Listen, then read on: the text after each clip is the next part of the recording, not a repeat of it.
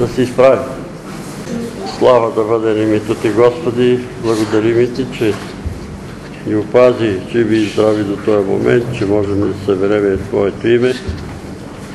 Вярваме, че Ти си посред нас, вярваме, че ни обичаш и ни се радваш, когато Те търсим. Винаги, когато Те търсим, Ти си готов да ни отговориш, да ни помогнеш. Прости ни, когато сме се отклонявали или сме забравили да си срещнем с Теб. Господи, бъди с нас и в това събрание и ръководи ни и пази ни и помагай ни, Господи, да бъдем верни до край, за да наследим това, което Ти си ни обещал, вечния живот. Молиме Те за уния наши брати и сестри, които са се отклонили. Там, където са намери ги, Господи, и помогни им да се свестат, да се опомнат. Да, Господи. И да се върнат при своя небесен Отец. Господи, Ти ги чакаш да се върнат, за да ги помилваш, да ги благословиш. Да. Помогни ни и на нас, да не осъждаме никого, да не обвиняваме, но да се стараеме да доведеме някой грешник към покаяние, защото си ни обещал, че когато един грешник се кае, ангелите се радват, небето ликува, слава да бъде името Ти, благодарим и Ти, води ни към спасително покаяние, пази ни от гордост и високомерие. Пази ни, Господи, да не се отклоним от пътя на истината. Молим и Те, благослови това наше събрание. Амин. Благодарим и Ти за тази проповед на планината, в която ни казваш какви трябва да бъдем Твоите ученици и Твоите последователи. Слава да бъде името Ти. Благодарим и Ти и Те молиме, Господи, за нашите роднини, които са по-далеч от Теб и не Те познават. Привлечи и към себе си, направи ги Твои ученици. Господи, прибави ги към спасяващите се. Молиме Те и за нашите врагове, които ни мразят и не знаят какво говорят, и Тя ги благослови и помилвай, за да познаят истината, истината да ги направи свободни. Благослови нашето събрание и подари ни благодат за хваление, благодат за молитва, благодат за говорене, благодат за слушане. Благодарим и Ти, славим и Ти и Те величаваме Свята Тройте, един Бог в три лица поклон на името Ти. Амин.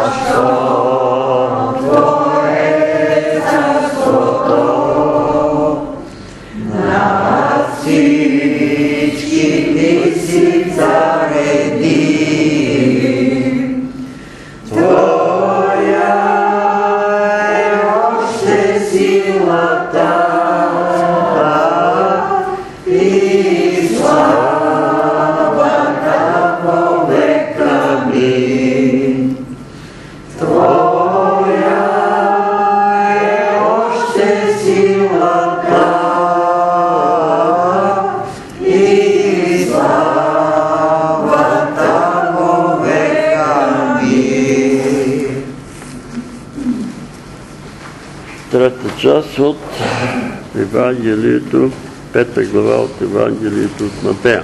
От 38. От 38 стих. Слушали сте, че бе казано око за око и зъб за зъб. Аз пък ви казвам да се не противите на злото. Но ако някой ти удари плесница по дясната страна, обърни му и другата. И на това, който поиска да се съди с тебе и да ти вземе ризата, дай му и горната дрека. И който те принуди да вървиш с него една миля, върви с него две. Тому, който ти проси, давай и не се отвръщай от оногола, който ти иска назаем. Слушали сте, че бе казано, обичай ближния си и мрази врага си. Аз пък ви казвам, обичайте враговете си, благославите уния, които ви проклинат, добро правете на уния, които ви мразят и молете се на уния, които за уния, които ви обиждат и гонят. За да бъдете синове на вашия Отец Небесен, защото Той остава своето слънце да греят над да грее над лоши и добри и праща дъжд на праведни и неправедни. Защото ако обикнете уния, които вас обичат, каква вам награда? Не правят ли същото и митрите? И ако поздравявате само братята си, какво особено правите? Не постъпват ли тъй езичници и тъй? Бъдете съвършени, както е съвършен и небесния ваш Отец. Амин. Око за око, зъб за зъб. Спомням си, че преди да си заминил в този свят, писател Николай Хайто го попитал, беха го посетили, дали му е жал за този свят. И той казва, не ми е жал, аз виждам, че този свят отива към гивел, за нищо не ми е жал. А какво мислите за българите? За това морално, тая морална, материална разруха и морално падение, той отговаря. Според мен грешката е за това, че българите не сме приели Стария завет да бъдеме око за око и зъб за зъб. Това беха негови думи. Но веднага беха изкоментирани, че ако приемеме око за око и зъб за зъб, ще останаме без зъби и без очи, каквито сме зависливи и отмъстителни. А и народа пък казва, има една приказка, око за две и зъб за чене.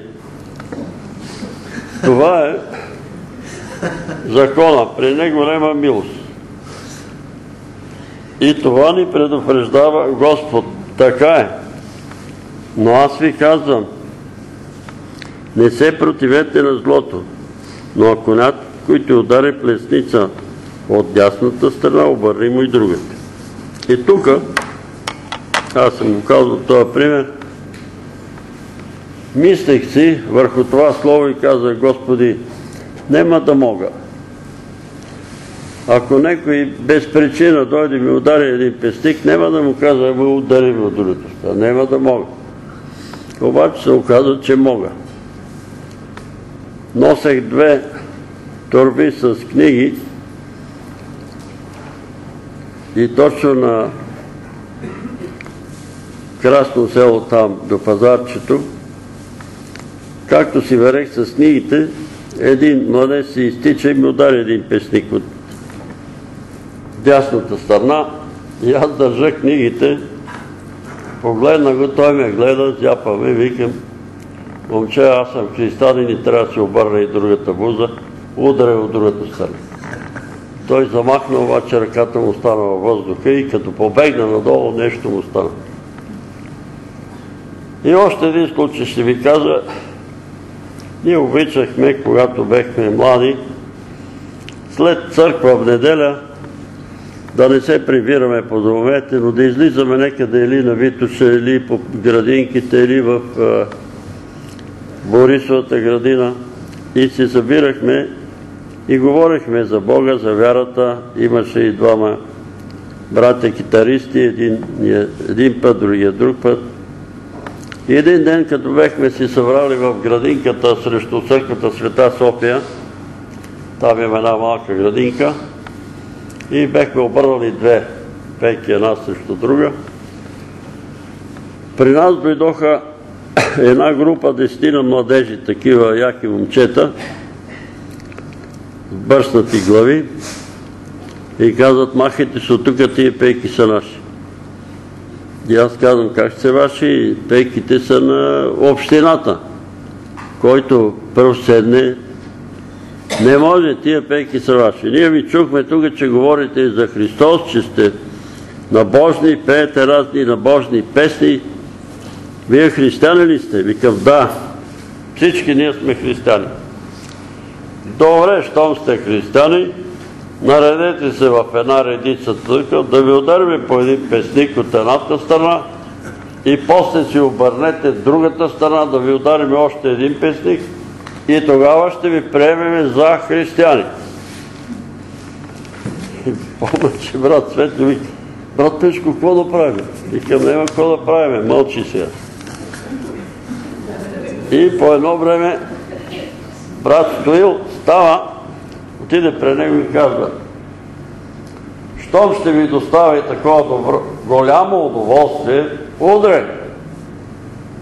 Обаче той не го удари. А се обърна към нас и каза, само той е християн. Останалите сте книжници и теоретици на християнство. Да станете като него. И си заминаха. Обаче едно момче от тия младежи се върна. Той дойде при нас и казва, ми моята баба е вярваща. Тя ходи на църкви, носи ми разни брошурки. Може ли да остана при вас? Може, моето момче, заповядай, сени при нас. И после си мислех, че ако всички бехме станали цялата банда, може би щеше да остане при нас. Ето, това са християни. Другото е теория. Теоретици.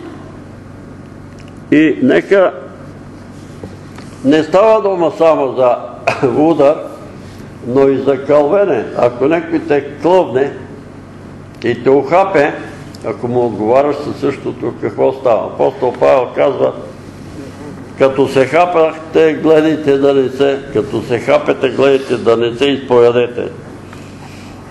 И съм ви казвал, че в Скопие църквата, Баптистската църква, беха изчезнали всички вярващи, беше останал само пастира и съпругата му. И аз се питам, сестро, защо така тук в Скопия хората са напуснали църквата? Ами, брате, изпълни се Словото. Като се хапахме, изповядохме се. Това стана, вика, тук при нас. Хапахме се и се изповядохме. Та и ние да внимаваме да не се хапеме. И ако некой ни ухапе, ние да не отговаряме на ухапането с хапен. Слушал съм за моя чичо, който беше едър мъж, около 1,92, че е дошъл при него един пияница и то дома отехва от двора. И му казал, Велио, ти християнин ли си? Да, християнин съм. И като се извъртели, му ударил един песник. И казал, нали си християнин? Трябва да си обърнеш и другата стара. И Чичо ми се обърнал. Он го ударил още един песник. Обаче след това го хванал, понеже беше едър такъв вят, хванал го, дигнал го и го ударил от земята и му казал, не пише за трети път. не пише за трети път. Обаче, макар че не е писано, не трябва да... Беше много кротък човек, ама ето това се е случило и на мен са ми го разправили роднините.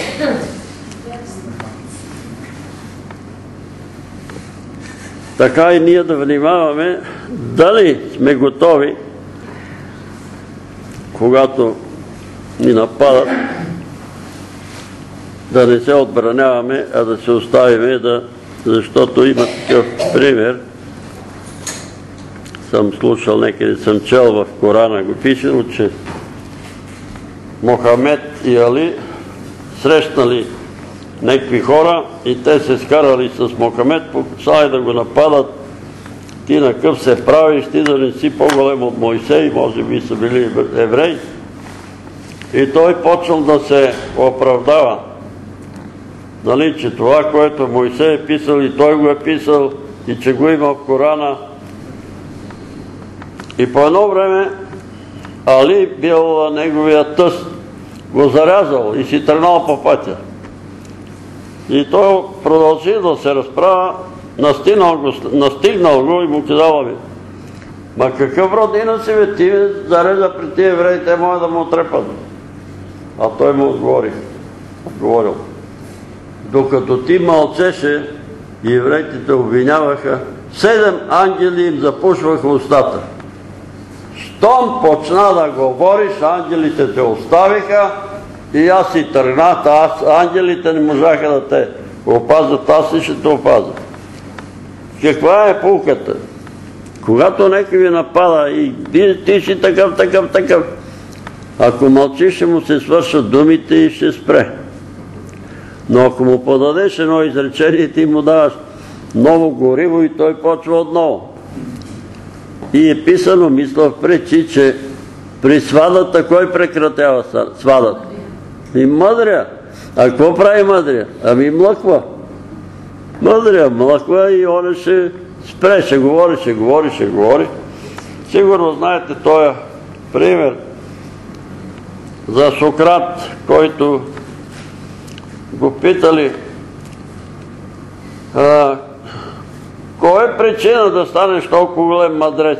Той е казал, жена ми. И как жена ми? Тя ми е най-добрият учител. И им разказал един такъв случай от, неговия живот. Жена ми вика, беше много бъбрива. Като почне да бърбори, аз мълча. Говори, говори, говори като картечница и аз си мълча. И един ден вика, говори, говори, говори, аз си мълча. Тя взема едно ведро и сипа го на главата ми. И аз се обърнах и казах, е, жено, след толкова голема гървотейца трябваше да падне и дъжд. И ето примера, по който трябва да следваме и ние. Ако има такава гърмотевица дома, или мъжа или жената се кара, другия трябва да мълчи. Какво ще да става? И нещата се прекратяват. Обаждат ми се сестри. Брат Петре, дома се караме, ще си изтрепеме. Моли се за нас, сестро. Гарантия не се прави от един човек. Трябва да има поне двама. Ама не, той не ме слуша. След малко се обажда мъжа. Моли се за нас, защото ще я прибия. Не дай да би, че има закон за малтретиране на жените и ще пострадаш. Не става с бой. Единият трябва да млъкне. Да се оставиш, колкото и да е зол. Той, който поиска да се съди с тебе, заради ризата ти да ти вземе риза, ти му дай и горната дреха. Разбира се, днеска за такива дребни работи не се съдат, но някакви път се съдат за обида, за други работи. Това, което ти иска, ищеца, дай го, защото какво представлява една риза? Какво представлява една дреха? Какво представлява човек да си загуби небето и вечното, вечния живот заради материални блага. Съдите за нива, остави му нивата, нека взима. Аз съм ми казал за този случай в долу Камарци. На един тракторист му дали за лично ползване, но сега като вършаха нивите, я дават на всеки, кой където му е била нивата, му дават документи и така нататък и една вдовица и дават нивата полето, тя отива да я види и му казва на тракторист, той се казва, казва махи си от тука, почва да я ругае, да я псува и след малко началника на гарата имаше мотоциклет, мотоциклета пристига в полето и ви казва на тракториста, на тракториста. ела. Защо? Защото влака прегази сина ти. Господ е заповядал на 50-та юбилейна година. Всеки да влезне в наследството си или в наследството на отците си. И имаше министъра на правосъдието на времето, когато раздаваха нивите, казва, ако имате тапия от турско време, че тая нива е ваша, трябва да ви я дадат. От турците, ако са имали тапия, че тая нива е ваша. И затова оставете се, оставете се, защото Господ е страшен съдя. Вие ще му дадете ризата си и ще му дадете и палтото си, горната си дреха, но той ще загуби колкото хиляди дрехи, а на теб, ако така направиш, Господ ще ти го върне стократно. Защото казва, не се грижете за утрешния ден. Ко ще ядете, ко ще пиете, ко ще облечете. Господ ще промисли. Господ ще промисли. Ако не се грижим. Но по принцип апостол Павел казва, че за нас е срамотно християните да ходиме по съдилища и да се съдим. Да се съдиме. И аз познавам такива хора, братя, които само по съдилища се ходят и се разправят. Един от тях ми каза, че в село Герман на времето несправедливо осъдили някой човек, който не бил от Герман, но там пришлец го осъдили и той проклел жителите на Герман. Господ да ви даде всички цел живот само да по съдилища да се влачите. И вика от тук, от тогава германци само ходят по съдилища, само се разправят, само се съдат. И така немаме работа в съдилищата. Е, когато ни обвиняват несправедливо, ще отидеме. Когато вземаха къщата на сестра ми, аз попитах съдийката, Викам, ние с сестра ми немаме ли право на един лев от тая къща? Тя мълчи. Кажете ми, немаме ли право ние с сестра ми от къщата на баща ми, майка ми, да нямаме един лев? Мълчи. И знаете, казал съм и трагедията. Трите наследници вземах къщата и на трите по един син загинах. И после вие сте ни проклели. Въобще не сме ви проклели. Въобще, но аз чух, когато един, той е партиен член, Сере Сабин. Какво правите, бе? Викам, изнасям багажа на сестра ми. Що? Защото иземах къща. Кой? Ами еди кои си. Господ да ги убие, бе! Как не се оплашиха да вземат къща на вдовицата? И Господ чух. Но него, не мен, аз нито ма, сестра ми. Затова Искат ли да взимат, да взимат, какво да правят. Но не бива да желаеме да им се случи това нещо. За съжаление, аз тия момчета ги уважавах, те ме уважаваха. Батко, батко ми викаха. Обаче това е трагедията. Бог е справедлив. Не посягайте на чуждо. Особено на сирак, на вдовица, че посегне да му вземеш къща или и после ти се размине. Нема да ти се размине. И затова не им се разминава на много хора сега. И фърчат керемиди и цели покриви ще фърчат, защото тия керемиди некои са крадени. И аз ви казвам, ако имате дома крадени работа, изфърлете ги. Ще дойде време, ще дойде ураган и ще ги дъгне ще ги изфърли, ще ви потроши къща. Пътувам с един, говорехме така във влака, и един мъж ни слуша и вика, бе, вие да не сте от оня свят. Викам, не сме от този свят, сме от този свят. Абе всичко краде тук в България. Бе, има ли човек, който да не краде? Викаме, ние двамата не крадем. Е, защо? Защото ще дойде видов ден. Какъв видов ден? Ми ще дойде, вика, видов ден.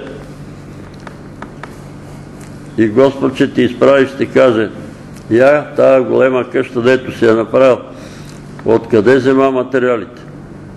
И той се смее вика.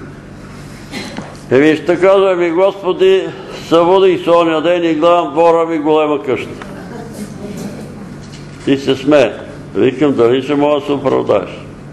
И така хората си карат голема работа. Един колега, отивам 6 часа на работа, на спирката съм в 5 часа, защото първа смена веко 6 часа. Той спре с колата, вика, карай, качвай се да те карам. Викам, къде ще видя посред нощ? За цимент. Къде продават посред нощ цимент? Вика, по обектите.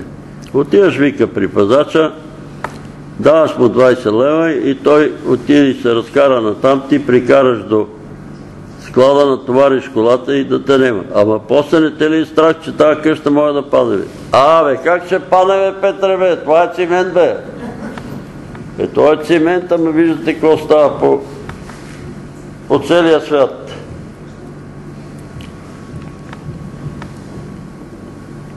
Който те принуди да вървиш с него една миля, върви с него две. Който те принуди да вървиш. Тук не, защото се тълкува неправилно и казват Абе некой ако те покани, ми много хора ме канат насам натам и ми казват, е да, ама ти ето не изпълняваш това слово. Ние те каним ти не идваш. Еми викам, не мога да идвам навсекъде. Токума, току, томува, който ти проси, давай и не се отвръщай от оногова, който ти иска назаем. Тук Лука малко го е разширил и казва, ако даваш назаем само от той, който очакваш да ти го върне, какво толкова правиш? Или даваш на той, който и той ти дава, какво толкова правиш? Давай и не очаквай да ти се върне. Брат Русинов ми разказа, че в техната църква се е появил един брат, който взимал наред заеми, то така солидни заеми. Трябват ми за лекарства, трябват ми за това, трябват ми за това. И братите си дават, ще ви ги върнат след един месец, ще ги върнат след два месеци. Обаче нищо не връща. И му се оплакали на него, той го извикал. Абе, човек, верно ли е това? Ами, брат Русинов, верно е. Исус Христос казва, давайте назаем и не чакайте да ви се върнат. Така ли казва Исус? А знаеш ли още какво казва? Праведният се смилява и дава назаем, а нечестивия взима и не връща. Взима и не връща. Връща и ти Християна ли си? Праведен ли си? Праведен съм. Нали, аз в резултат на Божията правда. Исус ме е направил праведен. И ще има и такива хитреци, които ще се правят на хитреци. Даже вие знаете, че на точна гара се повика 5-6 души, покаяли се затворници, обаче Господ ми проговори една нощ и каза тия на сточна гара, некои от те са хитреци, спри да им дава, защото лъжат. И един от тях ми се вади по телефона и казва, брат Петре, аз не съм Николай, аз съм Данчо. Лъжехте, лъжехте. Дай ми 10 лева за храна, дай ми 5 лева. Казвам това, защото ние даваме наистина и ще даваме, като не искат. Давай на тия, които искат, но те трябва да помнят и да знаят, че Господ ги наблюдава. Една зима дойде дома Лозан от 50-та църква, новороден, кръстен, с големи претенции. Вика, дай ми 100 лева, защото децата ми мръзнат, имаме живеем в една талашите на барака. Викам, немам толкова пари. И Леля ми, която живееше при мене с 27 лева пенсия, си скатала там известна сума, даде му ги и аз му дадах какво имам. След малко идва у нас Радко Костадинов след няколко часа, ти ли си дал на Лозан пари, аз яде и пие в, в ресторант България и черпи и вика, я ще за оня будала Петър Велев да е жив и здрав. И аз си трая, нищо. Ето, искат, олеле, децата ми мръзнат и си дадох мислене ми последните пари, оставих само 5 лева за ядене, нещо такова. Обаче го сънувах, че ще катастрофира. И му казах, Лозане, ти се правиш на голем хитрец, но Господ ми каза, че катастрофираш, затова се покай.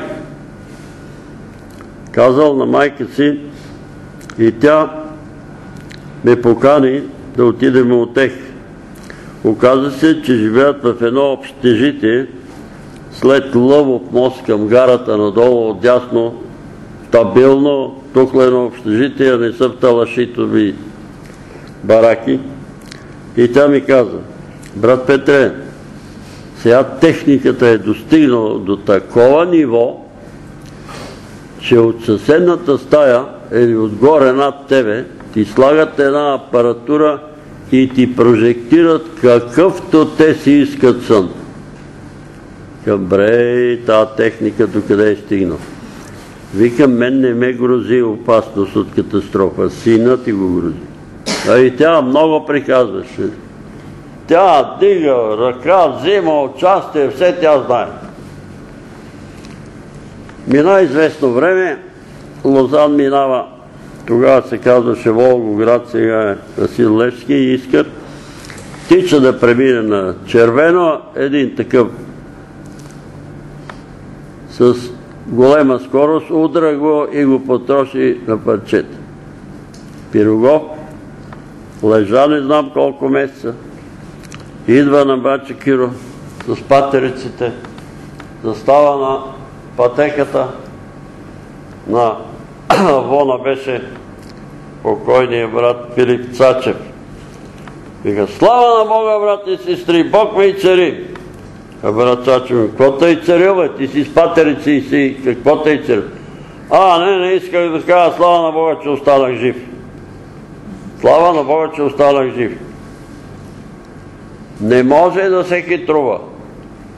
И като стават такива катастрофи на лево и на десно и всеки ви, е, тия хора, какво стана, бе, давай да направим нещо, да турим по хиляда лева глоби на хората, които повишават. Пак ще има катастрофа.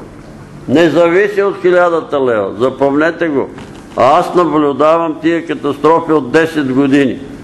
От 10 години все ги намаляват на половина. И на края на годината ще видите, сега излъгаха 650 и ще видите пред март, че съобщат някои от тези, че не са 600.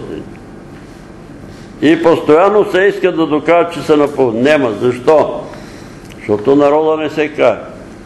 Защото народа си мисли, че ще открадне, ще излъже, ще измами. Обаче Господ наблюдава нещата и има провидение. Така народа каза. Провидението викаме наказа. Защо те наказа? Защото не си се покаял.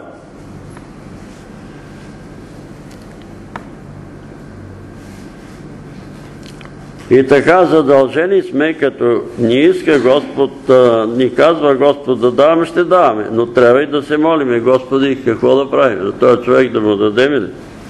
Сега Божидар беше вънка и иска пари. И наистина, тая жена, която си продаде колата в Чехия и му прати парите тук да си направи операцията, той злоупотреби с тях. И сега те са пратили там една сума и казват, тая сума за църквата, но на Божидар нито лев. Мога ли аз да наруша това желание на дарите? Не мога. И му казах, не мога да там един лев. Хората казват на Божидар нито лев. Защо? Ами, защото излага. Защото излага. Защото ние християните сме наивници. Тук дойде един брат, нали има в кавички брат, и каза на брат Димитър, помниш ли? Брат ти ми каза да ми дадеш пари. И той каза, Защо брат ми не ти даде ми те е пратил при мене? Какво, говори този човек? Ами лъже. Може ли брат му да му каже, иди при брат ми, той ще даде пари? Това е лъжа. Идва тук и сяда и вика, и дига рамене и се моли и вика, е какъв е този християн? И се оплаква от мене. И се оплаква от мене, че не съм А после па се оплаква от него, че не му е дал пари. После па оплакват. Еми, така ли трябва да прави? Тук пише ли го да даваме? Еми да даваме, на хитреци, на такива лъжци, как да им даваме?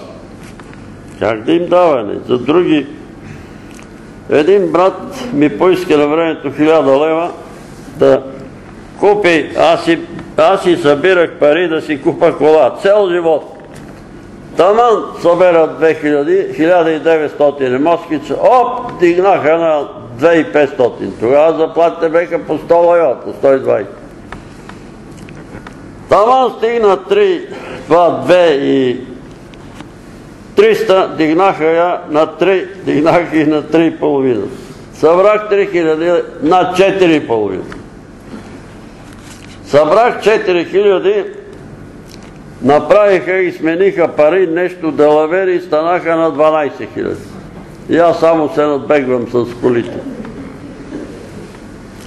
И така от тия пари идва един брат, дай ми 1000 лева, ще купувам апартамент на дъщерята. Викам, ето ти 1000 лева, изтеглих, дадох му. Вика, ще ти ги дам след 6 месеца. Минаха 6, минаха 10, мина една година. И му викаме, какво стана? Минаха 6 месеци. Събрали ми парите. Какви пари бе на теб? Не ти трябват пари бе, за каквото са пари. Брат в Господа, новороден, кръстен със Святия Дух, моли се там на Бача Киро. Бог да го благослови. Ама не ти трябва бе, човек. Разбирате ли какво прави? Така че ние ще даваме, но да не сме от тия, които взимаме, защото по-блажено е да даваш, отколкото да взимаш. И това не могат да го разберат хора. Ето тия, които страдат след това, които страдат, те не могат да разберат откъде им вие, защото лъже, краде и после като му дойде от некъде, олеле, аз съм невинен. Ема нема невинен. Библията казва, че нема нито един невинен. Нема такъв.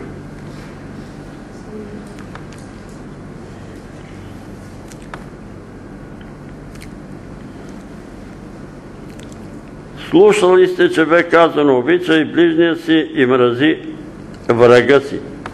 Аз пък ви казвам, обичате враговете си, благославите ония, които ви проклинат, дробопавете на ония, които ви мразят и молете се за ония, които ви обиждат и гонят. Ето тук се спъва, може би, целият християнски свят. Дали изпълняваме е тая заповед. А ние чухме в началото, че тия 8 глави, 5, 6, 7 и 8, т.е. тия 4 глави, са конституцията на християните. И ако не изпълняваме тия точки от тази конституция, сме далече от истината. Макар, че може да знаем Библията на Изус, може да цитираме цели глави, да обичаш враговете си. Защо? Ами ако си истински християни, ще знаеш къде пътуват тия твои врагове, ако не им простиш. Пътуват за вечния огън. Пътуват за гената огнен. А от теб се иска да им простиш. Благослави от ние, които те проклинат. Защо? защото клетвите им няма да ти стигнат. На празни клетви Господ не изпълнява. Колкото и да те кълнат, на празните им клетви няма да ти стигнат. Но за да бъдеш син на Всевишния, ти пък трябва обратното на това, което те правят. Защото хората, които те кълнат, те са слуги на дявол. Кой кълне? Майосниците кълнат. Ако пише в Откровение 22 глава. А магиосниците ще бъдат вън в огненото езеро, което е втора смърт. Чака ги втора смърт. За съжаление има по църквите магиосници, които не искат да се покаят, не могат да се покаят, защото са свикнали да бъдат, те си мислят, че са господари, че се върши техната воля, но горко им, това ще стане с магиосници. Искат, не искат, това е край. Огненото езеро е приготвено за магиосници, които са правили магии. Много. Я знаете тук, че преди няколко години попитах колко от вас сте правили магии за любов. И дигнаха 11 души. 11 души вдигнаха ръце тук от нашото събрание. А правете си сметка между неверващите какъв е процента там. Какъв е процент? И ги питаме, какво? Имаше ли резултат? Не, не, само една сестра каза, да, обаче се оказа, че той пък е, вика, гей. А пък другата е още една сестра, верно стана работата, обаче сега па не може да се отърва от него. Защо? Защото в ти отношения има бесове, дяволи, които ще почват да ви мачкат, да ви гонат. Клетви, с клетви. Това ще направя, това нищо няма да направиш, ще си чупиш главата. Затова не кълнете, а благославяйте.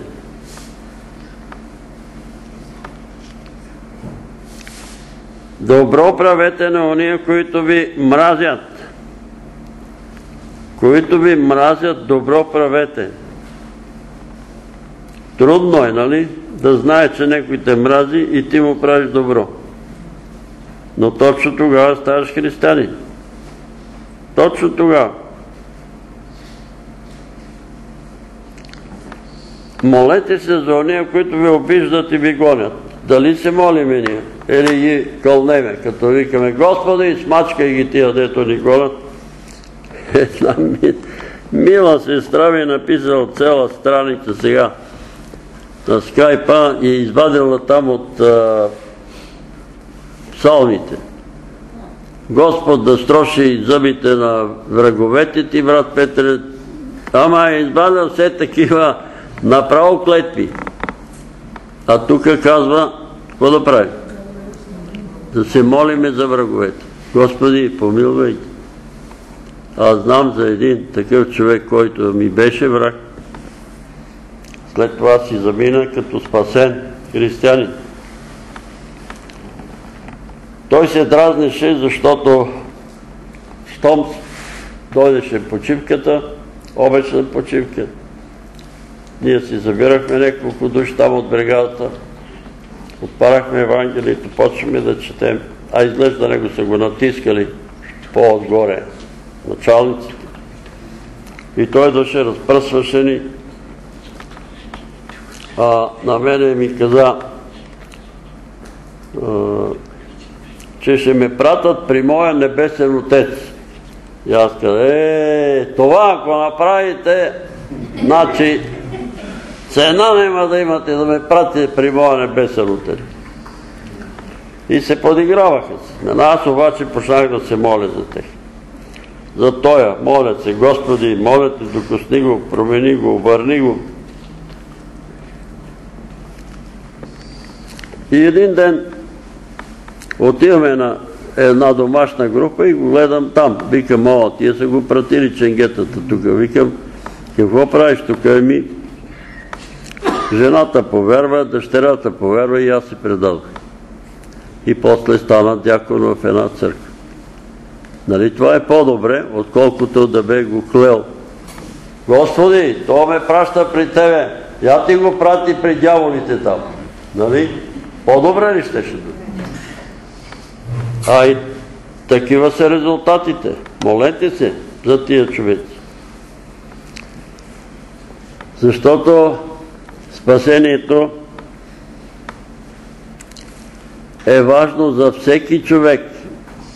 И моето желание е да няма нито един българин в ада. Както беха писали там на... Кои беха тия? Васан. Васан. Един лозунг на църквата. Нито един българин в ада. Добре. И аз го искам. Дай Боже да е така. Обаче зависи от какво? От това дали българина ще предаде живота си на Исус Христос. Тук искам да ви кажа за, чували сте сигурно, за Дуайт Муди, един евангелизатор, който в края на 19 и началото на 20 век е бил известен в целия свят. Чрез него Господ е разтърсил Америка и цяла Великобритания, Шотландия, Англия. Негови ученици, мисионери по хиляда души ги изпращал в Азия, Африка и с Европа. Негови последователи има по целия свят. Дори в моето село Долно Камарци има един човек, аз не знаех откъде идва, на който му викаха Муди. А този човек е разнасял книгите на Муди и в Долно Камарци ги проповядвал. Едва ли има некой от селото да знае откъде му е този прекор Муди. И сега неговите деца казват мудетата, на Муди внуците, на Муди внуците, Муди. И този човек видял хиляди милиони хора да приемат Исус Христос, да се обръщат, когато сина му Уили навършва 18 години и го враща да, да учи, той оттам пише на родителите. Не споделям вашата вяра. Не споделям вашата вяра. И ние чухте оня път за този пастир от Сандански, който проповядва, нали, и казва, еми, като стане на възраст, сам да си решава дали ще се кръщава, дали няма да се кръщава. И това е страшен удар за това семейство. Биографите там на Муди казват, едва ли има страна по света, в която да нема той благодарение на неговите книги, на неговите проповеди да са обърнали хора. А сина му казва, не споделям вярата ти. Това е голям удар срещу него. Започна да се молят с майка му. Пишат му писма, но тия писма са без да го окоряват, Баща му каза, по-добре е да умра, отколко да ти се изпреча на пътя. Каквото решиш, това ще правиш, а и не мога да го направя, защото Бог ти е дал свободна воля. Само мога, сине, да ти кажа, че този свят жестоко ще те измами. Аз научих вече, ти, ти пушиш, успяла е да те съблазни с цигарите, да донете съблазни и с други неща. Но това, което ми остава е да се моля за теб, а ти решаваш. Майка му също му пише писмо, в което не го умолява, просто му казва, че е тръгнал на грешен път. Баща му Друго писмо му казва, искам само да те предупреда, че този свят, в който ти сега си тръгнал и отиваш там, жестоко ще те измами. Жестоко ще те измами. И ти ще си отидеш напълно разочарован от този свят. Ще умреш, в самота Защото човек, който умира без Господ, той умира сам. Никой не може да му помогне. Нема такъв човек, който да може да му помогне. Майка му му пише, сине, не искам да бъдеш сам, но ти избираш това. Никой човек на земята не може сам да се справи с живота. Има нужда от приятели. Най-верният приятел е Исус. Повярвай. Но Уили не иска да вярва. Отива света. И може би една от причините, че той е проповядал баптизъма да не се къщават децата. Той човек с милиони са се обърнали, сина му не иска да се обърне. На 18 години казва, не признавам вярата ви. Не признавам вярата ви. Където Моди отиде, Шотландия, Германия, посреща до хиляди, каят се. Даже когато пътува с влаковете, машиниста му казва, аз повярвах от твоята проповед, аз съм християнин. И сина му вика, не ме интересува вашата вяра. Но молитвите си казват думата. Седем години майката и бащата се молят. Молят се много хора за това момче.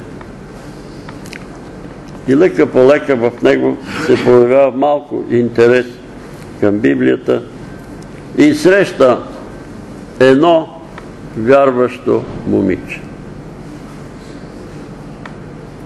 Харесва го много хубаво момиче, но това момиче е вярващо. И то поставя условия. Аз ще се ожена само за Христов ученик.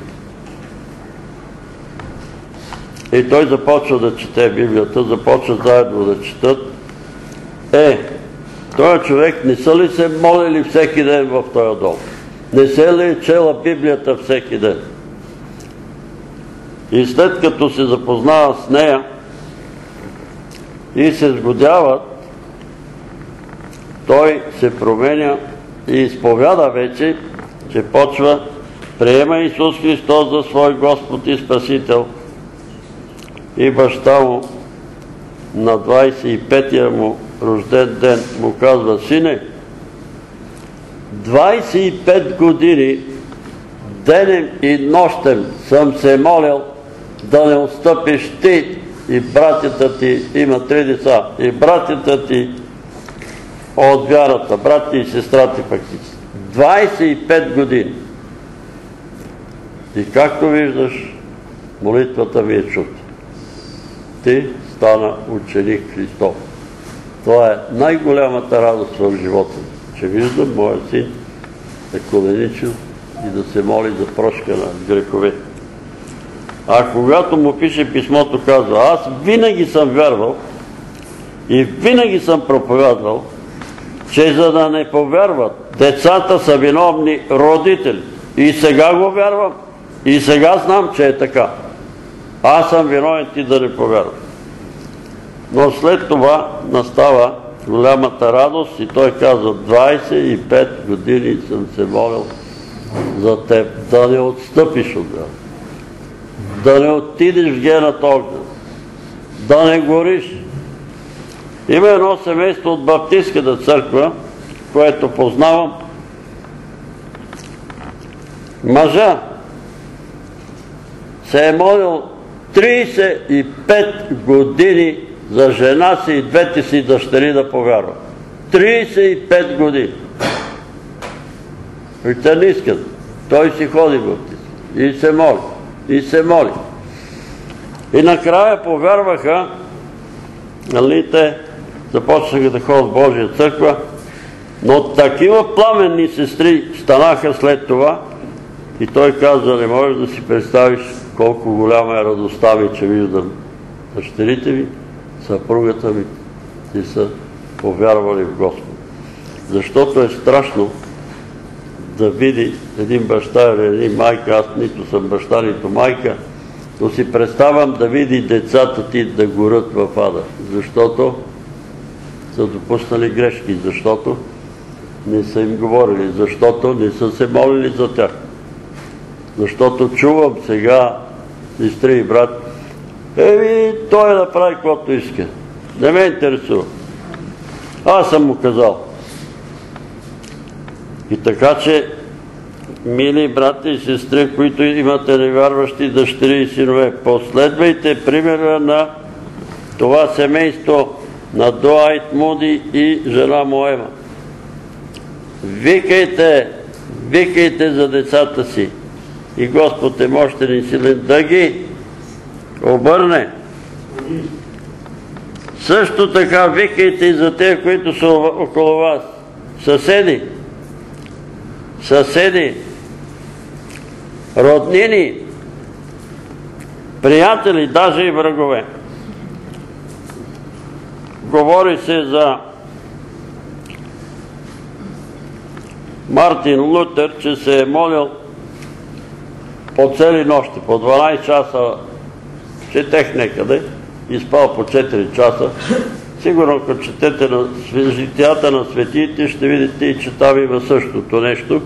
По 4 часа спът на денонощие, постоянно се моли.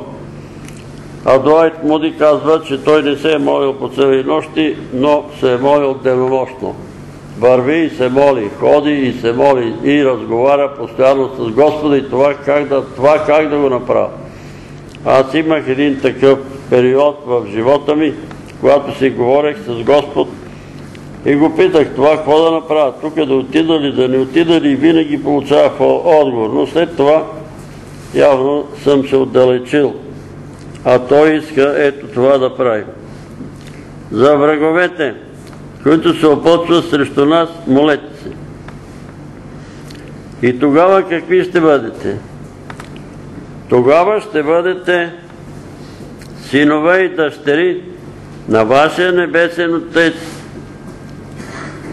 защото Той остава слънцето да грее над лоши и добри, праща дъжд на праведни и на неправедни. И ние сме говорили вече, че когато трябва да помогнем на некой, не трябва да изследваме дали той е праведен, дали е неправеден, за да може да... Щом е в нужда човека, помагай му, и твоята помощ може да го направи праведен, ако е зъл.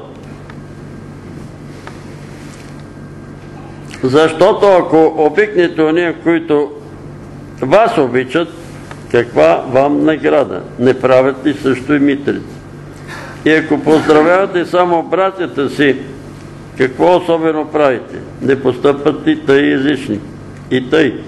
Бъдете съвършени, както е съвършен и небесния ваш Отец. Ама ние не може да бъдем съвършени. Ама тук казва, че можем. Тук казва, че можем.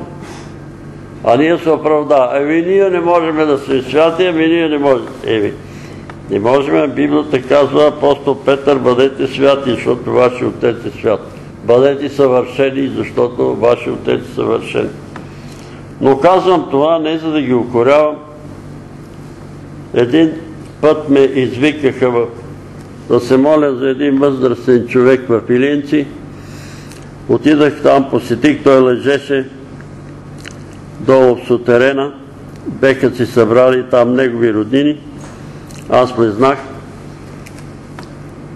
Казах, слава на Бога и си подавам ръцете, но те си дръпнаха ръцете и казват, ние са съюзни християни не се поздравяват. Ама какви съюзни, бе? Ние са съюзни християни не се поздравяват. Естествено е, че Господ не чу молбата ми. Канат ме да се моля за баща им. И когато им казвам слава на Бога и си подавам ръцете, те си дърпат ръцете. Ние не се поздравяваме с такива като теб. И защо ме каните? Нали сте по-свети от мене? Нали сте по-праведни? Защо ме каните? И естествено този човек си замина. Това за първ път ми се е случило, но ви го казвам. Има го. Некои хора така ги учат. Нема да поздравяте баптисти, нема да поздравя православни, нема да поздравявате не знам какви. Аз бех във Франция, там в един хълм на Панчо от хълма нагоре до църквата, как се казваше, и се разхождам по алеите. И като срещна някои хора, мъж, жена, бонжур, бонжур, всички ме поздравят. Бонжур, без да ме знаят. По едно време идва една хубава жена, красива и почна да ми говори нещо, може би да съм се възхитил на красотата и говори, говори, говори и аз накрая викам, мадам, жо не пърле па. Тя, е, и си замира надолу. Не разбирам. Хората се поздравяват. Какво е това? Некой дошъл на времето от село и добър ден, добър ден, добър ден. Тук София, ама никой не го поздравява. Ма там на село се поздравят. Като идат в друго село се поздравят. Добър ден. Е, имаш и други поздрави. Аз помня дедо ми, като се качи на колата. Срещне некой. Добра среща. Дал ти Бог добро. Помага Бог. Дал ти Бог добро. Е, така се поздравяваха. И това, некои казват, това е на празно произнасяне на Божието име. Не, това е поздрав, това е благославен. Това е благославен. И още пише, ако телето ти или вола или усела на човека на врага ти, на врага ти падне в ямата, извади го и го закарай на врага ти. Затова правете добро на враговете си. Правете, защото ще бъде страшно в съдния ден и ще каже Господ Петре, виждаш ли тия твои врагове, аз ги пратих при тебе да се молиш за тех, а ти какво направи? Забрави да се молиш. Един ден коленичих да се мола и си мисля. Господи, за какво да се моля сега? Благодаря ти, че ме опази жив и здрав през днешния ден. Не ме лишавай от небесното си царство, ама за какво да се моля?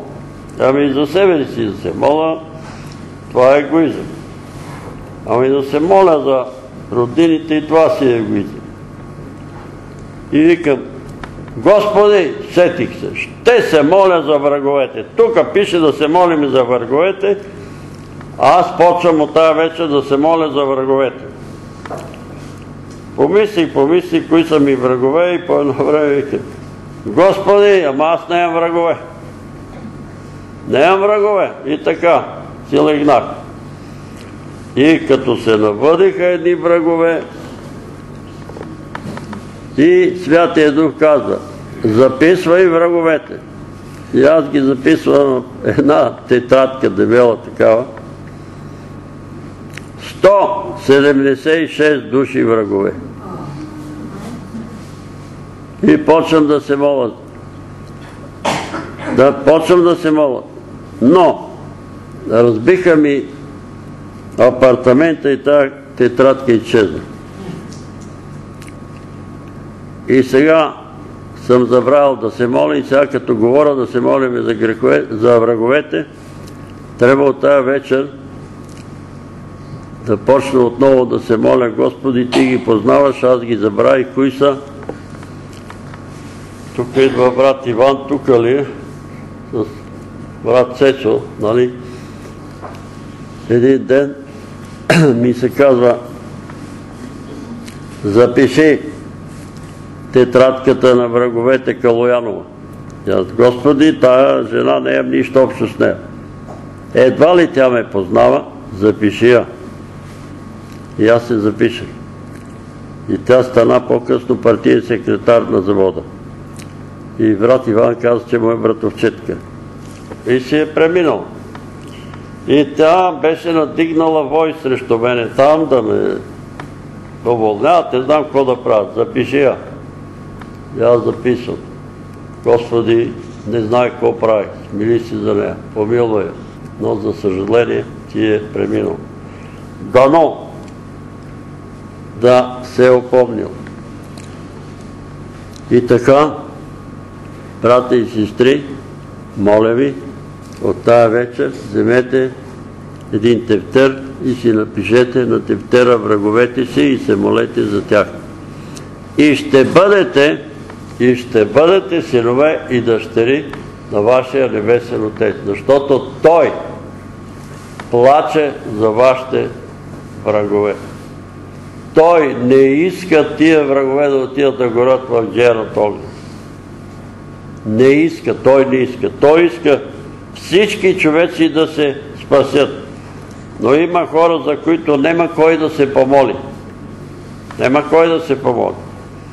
Аз знам за двама генерали, Димитър Димитров и Михо Михов, че Господ ги опазил от катастрофи. Те са ми разказвали какви катастрофи ги опазил.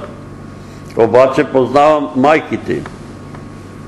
И баба Рада, долно камарци, гледам из прозореца, щом стане празник, тя е вземала букетчето цветя и отивала църква. И викам, баба Радо, за какво се моли? Как да не се моля? Той парчи из облаците, Господ да го пази да не падне. Разбирате ли какво става? Тия майки се молят за синовете си и затова Господ ги пази. А ние се казваме, мани ги, тия са комунисти, какво ще се молят за те? Тия са комунисти, уния са седесари, какво се молят за тия седесари? А Господ иска да се молим както казва брат Христо за всички човеци. Не, брат Христо да е апостол Павел. Апостол Павел. Да се молим. Но, сега, тук отварям скобата. Когато дойдете тук с молитви за човек болен от неизлечима болест и вие казвате, той не вярва, нема да стане, само си губите време. Нема да стане.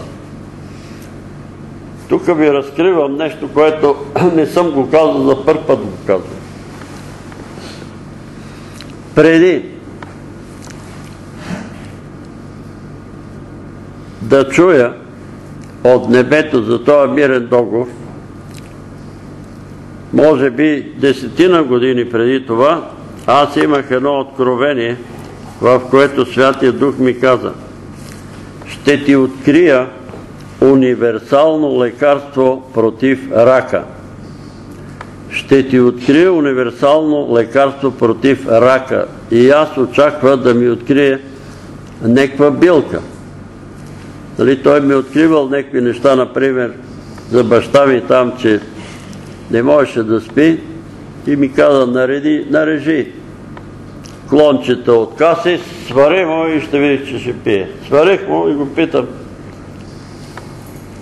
а вечерта като го пие, а, свалил си ми буклук. Абе, изпий го, буклук, не буклук. Сутрета го питам, спали ли нощести? Не съм си събуждал. Как съм легнал, така съм бъдал. Пи птиче просо за възпаление на бъбреци, ако има такива хора. И аз си мисля, ще дойде време, когато ще ми каже ето това е универсално лекарство против рака. И това време дойде. И чух този глас от небето. Мирният договор. Какво държиш в ръката си? Мирният договор на грешника с небесното царство. Това е универсалното лекарство за всички болести и рака, който иска да го изпълнява. И се обажда сестра Парижка от Видин. Болна бех от рак на стомаха. Престоеше ми операция, попадна ми мирния договор на грешника с небето. Мислех, че съм християнка, че не съм ча толкова грешна, но като го прочетох се ужасих на колко места се намирам. Изповядах се, плаках, молих се, отидах на контролен преглед. Във Видин казаха, рака го няма. Как го няма, не може да го няма. Отивам в Монтана, рака го няма. Отивам в болницата във Враца, абе, ето ми диагнозите, нямаш никакъв рак, отивай. Универсално лекарство против рака. Който иска да го използва, който иска да го отвърля. Който иска да го презира и да го отвърля. И така, нека да се стараеме да бъдеме послушни и те качества да се намират у нас. Иначе ще бъдем, както каза оня младеж, книжници, теоретици на християнството. Е, не трябва да се заяждаме с хората, за да ни ударат от едната страна и после да изядем и, и другия шамар.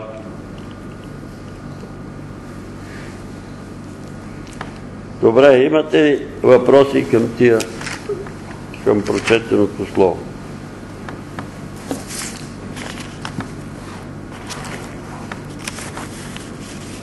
Може да кажете някой пример. Когато са ви ударили от едната страна и вие сте си обърнали другата.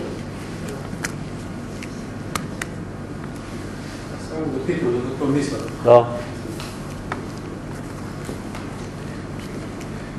Тук то не а, за 44 стих ще стане въпрос, но а, преди да почна 44 стих, о, чух сега нещо друго, понеже много пъти се а, съм задавал въпроса, че не ми е ясно разликата и приликата между Стар Завет и Нов Завет.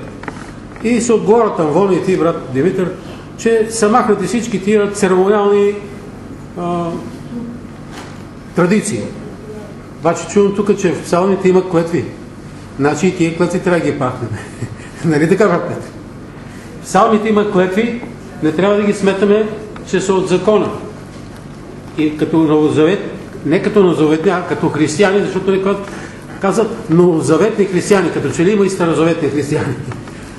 Като християни не трябва да кълнем. Е, не трябва, И, обаче... и, и продължавам тук, 44 стих. Благославяйте уния, които ви проклинат. Брат Димитре, прощавай, ама в твоята Библия го няма това. 44 стих. Защо? Той е по някакъв друг пророк правен. И след това, добро правете на ние, които ви мразят. И това го няма в протестантския превод. И след това, молете се за си това. Просто обръщам внимание, които четат протестантски, да знаят, че, че благословите на които ви проклинат, го няма. И добро правете на които ви мразят, пак го няма. Така си правете сметка, ако искате да четете една, ще Това нещо аз четата и двете и три библии чета. И Чи- Кинг Джеймс чета. Кинг Джеймс е като синодално. Аз ще го видя в гръцкия превод и ще ви кажа дали го има в гръцкия оригинал това. Надявам се, че го има. Понякога там е малко по-различно, но това е 44 стих.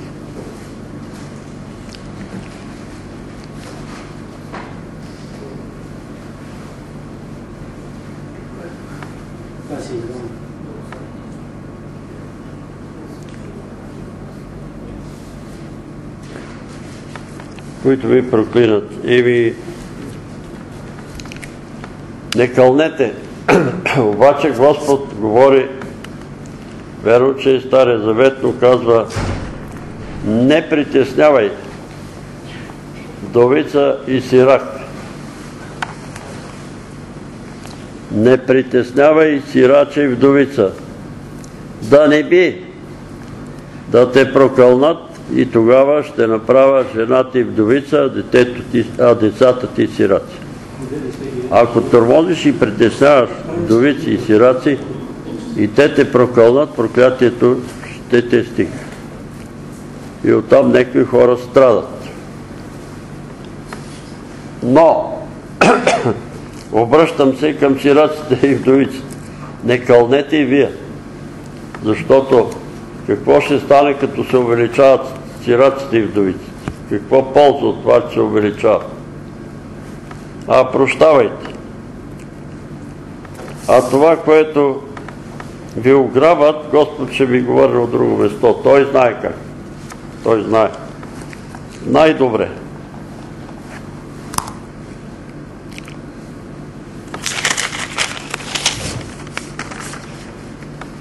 Брата и сестри, бях болна и Господ ме изцели. Благодаря му, благодаря и на всички, които се молихте за мен и Николай Цветанка. Нема го грипа вече. Край. Брата и сестри, да помолим Господа да освободи дъщеря ми от цигарите и да очисти кръвта в урината на внучката ми Мери. Амин, сестра Здравка. Сигурно има някакво възпаление.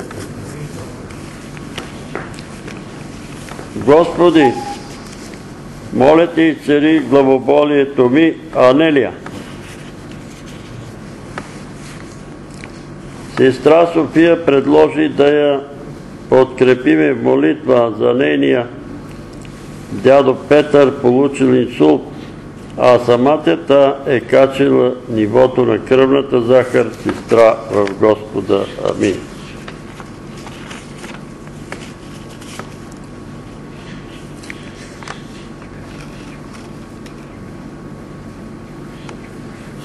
Молитва за сестра Николина от квартал Борово, сърце, високо кръвно бъбреци.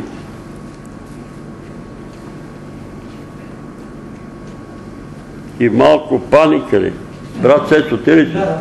Абе, как е тази сестра? Ами, въобще сме се обади към 2 часа, умирам. Умира. Сърцето към 7 часа, сърцето няма да държи, мисля, че са по-оплашена.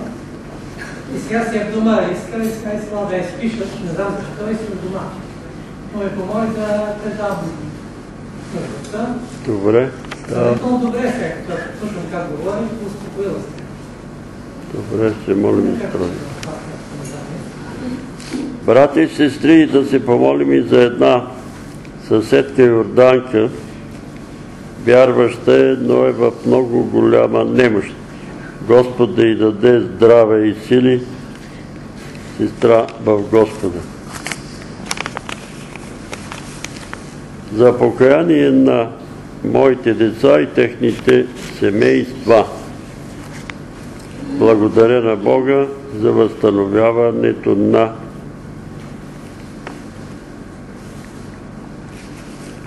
на изгорялата ми ръка Костадинка. Амин.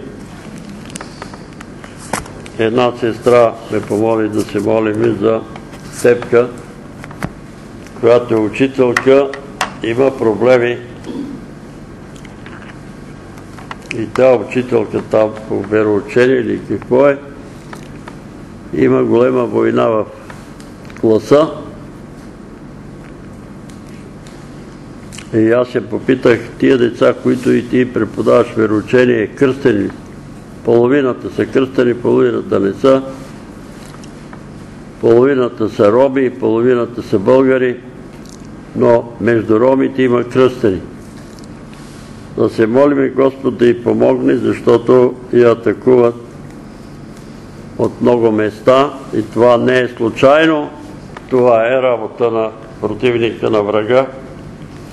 За същото се молихме и за сестра Роси Ганева, която също преподава там в една гимназия. Вероучение и има атаки от противник. Един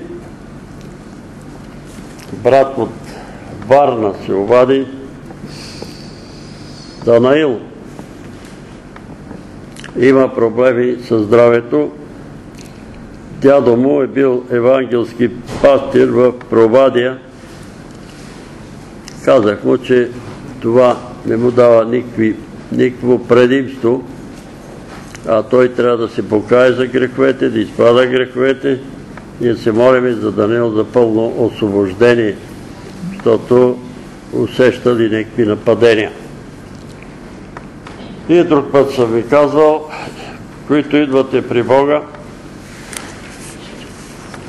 не идвайте с никакви претенции, защото него не го впечатлява това. Баща ми е свещеник, дядо ми е владика, това няма никакво значение за него. Ти, кой си и какъв си? И тук има един списък от около 200 души, даже повече, които Господ ги знае, ще ги издигне без да ги чета, макар че някой настоява да ги четеме, но Господ ги знае. Така.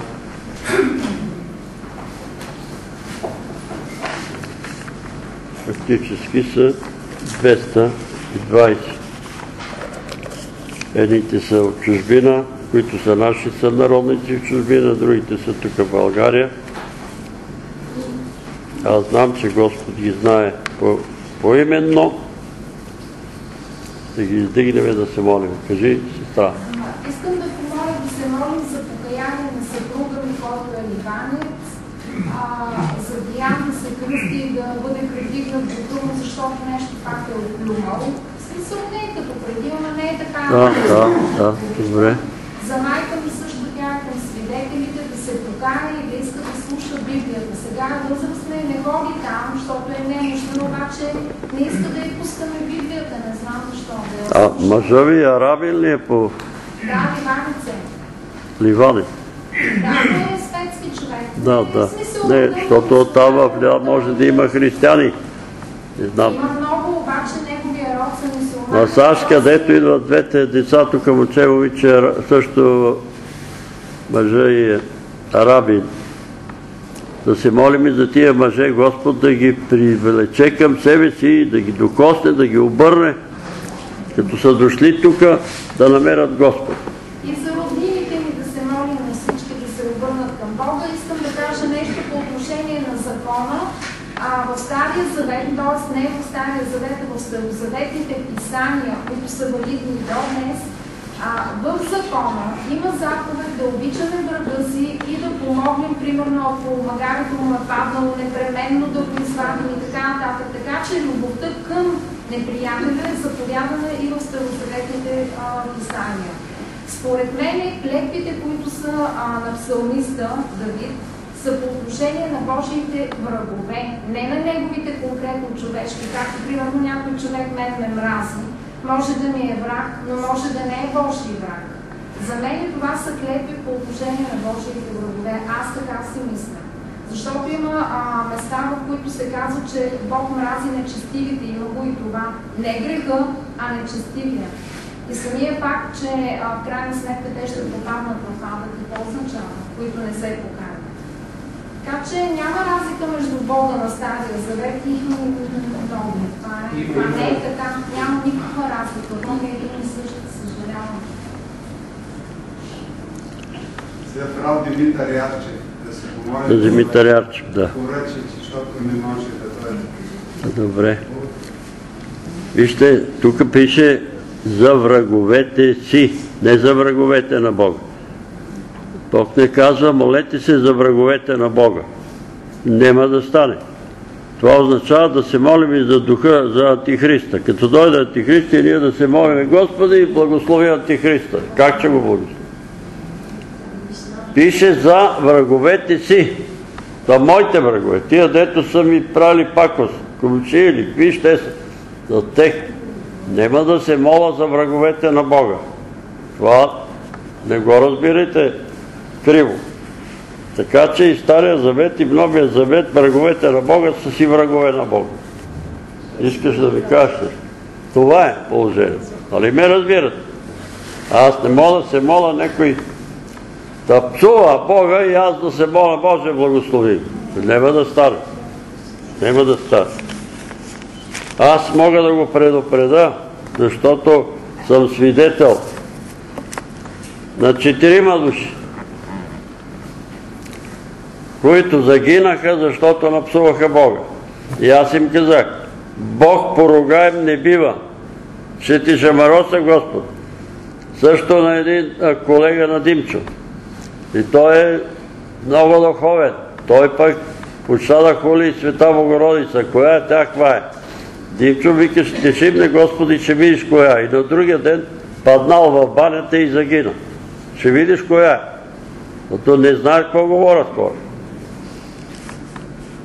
След това почна друг един там, пак в работата. Подиграва се, холи Бога, вика, ей, къде е коце? Ви коце изми и ти си тръгнал на там. Как така? Не можеме, Бог поругаем не бива.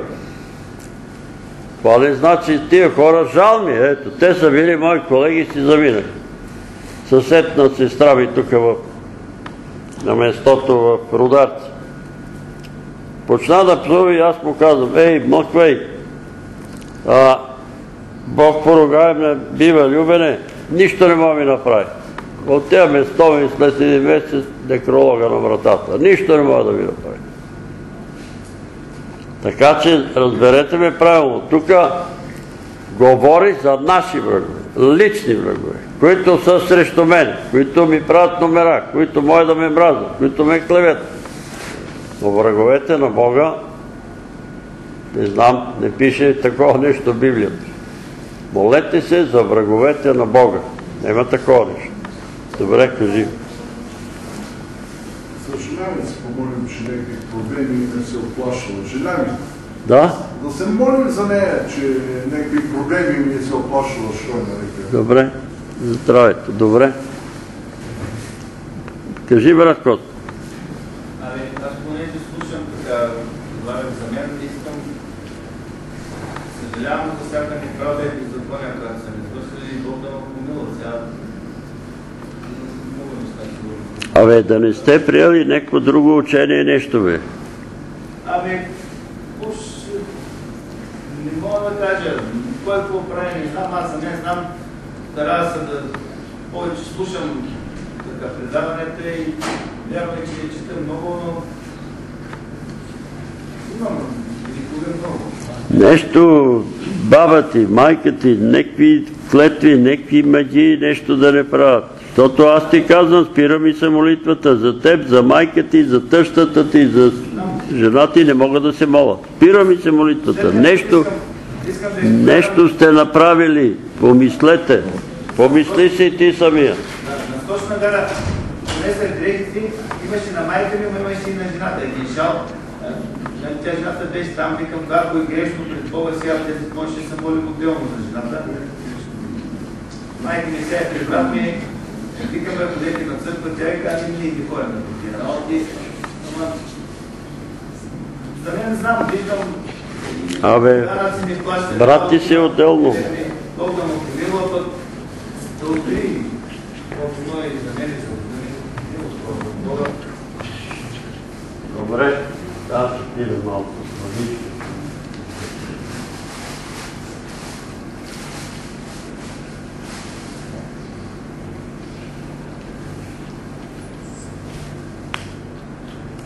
Ще се молиме Господ да открие каква е причината. Аз знам, че преди време, още като повярвах в Германия, като се върнах, тук имаше един период, който ме замъкнаха на сила, но аз се отишъл пак доброволно с ръката си или някакъв кожа подих ми. Викам се, Господи, ако това има някакво значение, нали това така няма. Това е след като съм повярвал, изповядам го, но беше ми дотегнало да дим, да дим и аз да майка му ще заразбавам, че знам, че е грех, не грях и изповядам го. Това беше още преди много години. Не съм ходил нещо да, да се чух така, да ми правят за бизнеса, за работа. И сега, аз ще ти... не знам за какво баяване, какво бая. Ходил съм, проблема от Бога, съжалявам. Това е, беше 90 няколко година, може беше. Съжалявам. За него. Повярвам. Драги брати и сестри, още ми се обадиха по телефона. Нужди на Луис Палао, воен, и се разпространи навсякъде да се молят за него. Хитлер бейте тролове, така, така разбрах аз. Луис Палао, той е Евангелизатор. Той е? е тук 90-та година беше в София, тук е В София. Помня. Тика беше с тях там, провеждали. Като е нужда, която се разпространява. Вика, да се молим Господ Бог да има грижа, каквото реши той тогава. Но тук има предвид това. Аз малко не дочувам. Луис Палао, Да, помна. да, Помна го. болен е сега. Да. И разпространява се по църквите, да се молим Да. за него. И понеже се хвалиха с нощи, да е молят, като ти го познаваш, е, да, се, да знаеш, викам аз супер. Сега утре имам в църквата, ще обади там. Да, това е говоря, да имам предвид това нещо. Молим за ти за Да. Гърдите има нещо. Повече. Той. Да. Сега? Да. Ще се молим. Да. За Луис Палао, нали? Евангелизатор. Има проблем в гърдите. Той дойде, за да донесе Божието Слово в България, да се моли за българите. Ние пък сега трябва да се молим и за него. Добре? Истър, да. Един ден ми заболя дясния бъбрек. Благодаря на Господа, че не бяха така силни болките. Помолих се и Бог ме освободи. Слава на му. Добре. Друг има ли да прослави Бога? Ами, по-миналата събота чувствах как грип така ме тръгва да ме, мене да влиза. Да? И тук като се молихме, нали, това чуваме за демон, трябва да го гоним. И молих.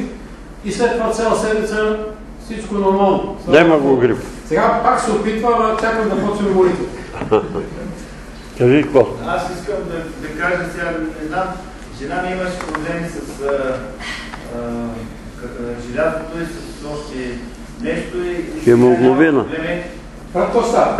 Ела малко по-близко чудата. Хемоглобина и желязо. Значи съпругата ми имаше проблеми с хемоглобина и с желязото. И сега установявам, че има много хора, които с години ги имат и не се поправят, а пък на нея е, всичко е наред. Значи, като нормален човек е. Това е едното. И другото, което искам да изповядам аз, че ми се случва да псувам няколко пъти от страх така, от някакви такива, но това също е нещо недобро. Възможно е. Това може да е причината. Един ден аз се моля за... Абе, изповядам, че не си плащам данъци и работа, но това от много години. Аз не живея живот такъв, като трябва да е. И сега да не си направил... Не те обвинява, нали не ме разбири. Но, понякога, аз познавам такива хора, които много закъсаха и Господ иска да ги изцери и те изпадаха пред мен, че са откраднали някои сериозни неща. Например, казвам ми нещо, което е на село. Некъв човек си е правил някакви дървета наплати и той ги е откраднал и си ги е закарал да си прави, той да си прави колелета там или нещо друго. И вика от тогава, от тогава не мога да си намеря место. Защото ние се молим и няма резултат. И аз казвам, не ме чува Господ, нещо си направил. И сега ние си мислиме, кражбата е нищо. Нали? Кражба е какво кражба? Ако откранеш една овца, трябва да върнеш... а, Така е, обаче она, който го е е ощетените а клетвата ще стигне. Разбрахте ли? Не те обвинявам точно тебе за нещо си откраднал. Не, аз съм ползвал крадени неща и съжалявам. Там много работи имам, където ми са на ръце, ми се откриват. Ама дома ли са? Ми, даже и сега един кабел сваляк, той ми е даден откраден кабел, ми е даден и аз съм го закачал и мислих да го върна на този, да ми го е дал. Връщай, ама връщай, защото това може да е проклетия. Може и да откраднете, нали знаете за тия иманярите. Копат и намерят там някакви жълтици и ги вкарват къщата си и къщата им се запали. Те го знаят сега. И затова викат някой, нали, има действителен такъв случай, беше описан в църковен вестник. Тук в Желява един намира такова съкровище и дава, вика там един а, такъв а, овчар, абе виж какво намерих тук до този дъб. Вземи си. И он е вземал без жълтици, отишъл кръчмата, напил се и през нощта къщата му се запада изгоряла и той е изгорял. А он тръгва по търговия и накрая той пропада. Защото има изговорени клетви там. Много сериозни клетви. И аз разговарях двама маняри беха дошли от Варна, не от Варна, от Каварна. Поне са чели книгата по пътя към Исуса и там аз описвам, че съм сънувал сън, че намирам едно съкровище. И надолу обяснявам, че това съкровище е Царството Божие. Нали Исус казва, като човек, който Абе, кажи къде си го сънул, заведи ни там, вика, ние ще копаме, защото президента ни е дал, вика, документ, никой да не ни закача да търсим съкровища, защото на България трябвали пари. Ама викам, ще попаднете под проклятие. А, не, не, вика, нема. Ние ще извикаме някой да му даде няколко жълтици и после ще ги вземе. Е, какво ще да Проклятието да падне на другия. И после, как, какво си мислите, че Господ ще ви похвали? Ама не, ние ще дадем една трета вика за ремонт на някоя църква. Е, и тази църква, като е от проколнати пари, къде отива? Къде отива? Затова очиствайте домовете си, не взимайте чужди неща, които не знаете откъде са, някой ги откранал и ти ги дава на тебе. На ти еди какво си и като го вземеш, проклетията пада върху вас. Кажи, брат. Поне той каза за псовните, искам нещо да споделя. За какво е? За псовните, те са Да. вид клетва псовнята. А аз, от как съм повярвал, се стрема това нещо да не излиза от устата ми. Обаче, идва ми в мисълта и си, и си така в мисълта да се Да, с Господи. да, да. викам, Господи, защо аз не искам да псувам Господи? И тогава не чувам глас, обаче някой път виждам във видение последният човек, с който съм контактувал. Оконтактувал съм така Такъв дух е дошъл. отворено сърце към него. Обаче той е натоварен и този дух идва да ме атакува. Затова още преди да излезе от устата ти, гони го този дух. Дух не чист махай се от устата. Аз не желая да псувам. Зависи с хората. Това не значи, че трябва да престане да общува. Обаче за защита трябва да се моли. И за- други проклетите да спомена. Има една книга на католическа църква, аз бях екзорсист.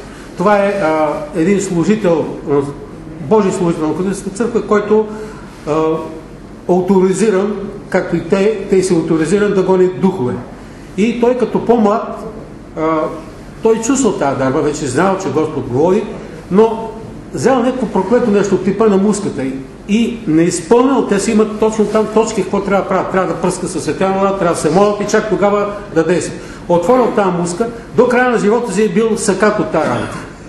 Та проклетия го ударила, обаче той се остава Божий служител. Да, да си има начини за това нещо, такива проклети неща, как се действа с тях. От отваряне на муски. Нещо? Е възможно. Сега, нали, знаете кой е Димчо и кой е Евгений. Аз си знам имената. И се мола.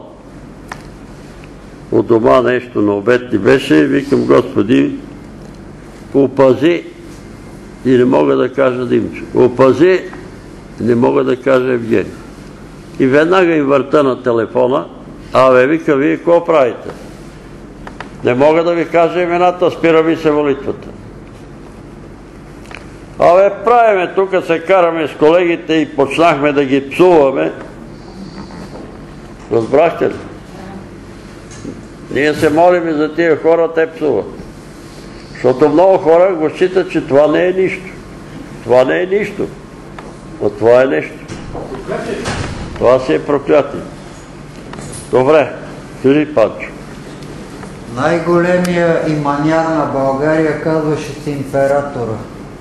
Той намира съкровища, копае, намира съкровища, обаче ги закопава на друго място. И накрая го убиха. И всичките съкровища са скрити. Така че. А, той ги, те знаят, че са негови вече и ги крие на друго место. Да, да, той, той, той знае... Те са били явно група, обаче го убиха накрая. Това е. Еми не е казал къде са, ако им е казал на групата. Добре, изправяме ли се да се молим? Слава да бъде името Ти, Господи, благодарим Ти, че може да дойдем при Тебе с нашите проблеми, нужди, молитви, с нашите благодарения. Приеми ги, Господи. Благодарим Ти, че си ни опазил живи и здрави през тази седмица. Благодарим Ти. Ние те молиме да погледнеш милостиво на всички тия брати и сестри, които ги прочетох и също този списък от около 200 и няколко души, много пъти сме ги чели. Ние те молиме да ги прегледаш по-отделно, ти ги знаеш преди да сме се помолили. Молиме Те, Ти, Господи, да ги докоснеш, да ги цариш, да ги водиш към покаяние, да разрешиш материалните им проблеми. Молиме Те за сестра Неба, има проблеми за изцарение на тялото и цария. Молиме Те за дъщерята на сестра Здравка и за внучката и царития деца. Молиме Те за дъщерята на сестра Розалия Кристина. Развържи я и цария и помилвай я, Господи. Милост, Господи, за Николай, за съвършено освобождение и царение и спасение да бъде верен ученик на Господ Исус Христос. Благодарим и Ти за изцерението на сестра Цветанка, пази я и за напред. Благодарим и Ти и за това, че брат Христо е бил освободен от атаките на този демон на грипа. Благодарим и Ти и за напред го пази. И всички нас ни опази от този демон на грипа. Молиме Те, Господи, всички нужди, които беха предложени тук за сестра Емела, за сестра Мара, за нуждите, които брат Тодор Патрико предложи. Молиме Те, Господи, за Калинка, за пълно и царея на духа, душата и тялото, и за майки, и цария, и изгори те образование по тялото и Господи, смили се за този дом. Молиме Ти за Васил, пълно и царение, благослови го, благодарим Ти за подобрението, но Те молиме за пълно и царение на Васко. Господи, помилвай го, молиме Ти за сестра Цецка и цари коляното и Господи, смили се за нея и цари коляното й. Молиме Те за Гергана и цари сливиците и Господи, възпалението на сливиците да спадне. Смили се, Боже, за Петя, за пълно и царея на крака и окото й. Милост, Господи, за Твоя народ. Молиме Те за Боремира, за нейните синове, за майки, за целия и дом. Молиме Те за Богина и нейния дом и децата и дъщерите й. Милост за брат Пламен и за неговия дом и род. Молиме Те за брат Панталей, благослови него. Теминушка и Христо много често боледуват. Господи, помилвай ги, благослови ги. Милост за сестра Мария и за дъщеря и зети докарай до покаяние. Привлечи Димитър към себе си, Господи. Смили се за него, Господи, го от алкохола. Мило за Красивира, освободи от цигарите, Господи. Смили се за тая жена. Молиме Те за Валентина, Господи. Докарай до покаяние, брати. Трагедия, когато човек не вярва. Ето той обвинява, че тя лъже и лъжи толкова вече месеци. Смили се, дигни от леглото, изправи я на нозете и да може да самообслужва. Ние те молиме да благословиш тия сестри, които отиват там и помагат. Молиме те, Господи, за такива наши брати и сестри, които са в отеснение, които са преследвани заради вярата, които са уволнявани от работа заради вярата. Помилвай и укрепи здравето и силите им. Моля те за моята племеница Румяна, докосния, благословия и цария, дай съвършенно духовно, физическо здраве и сили.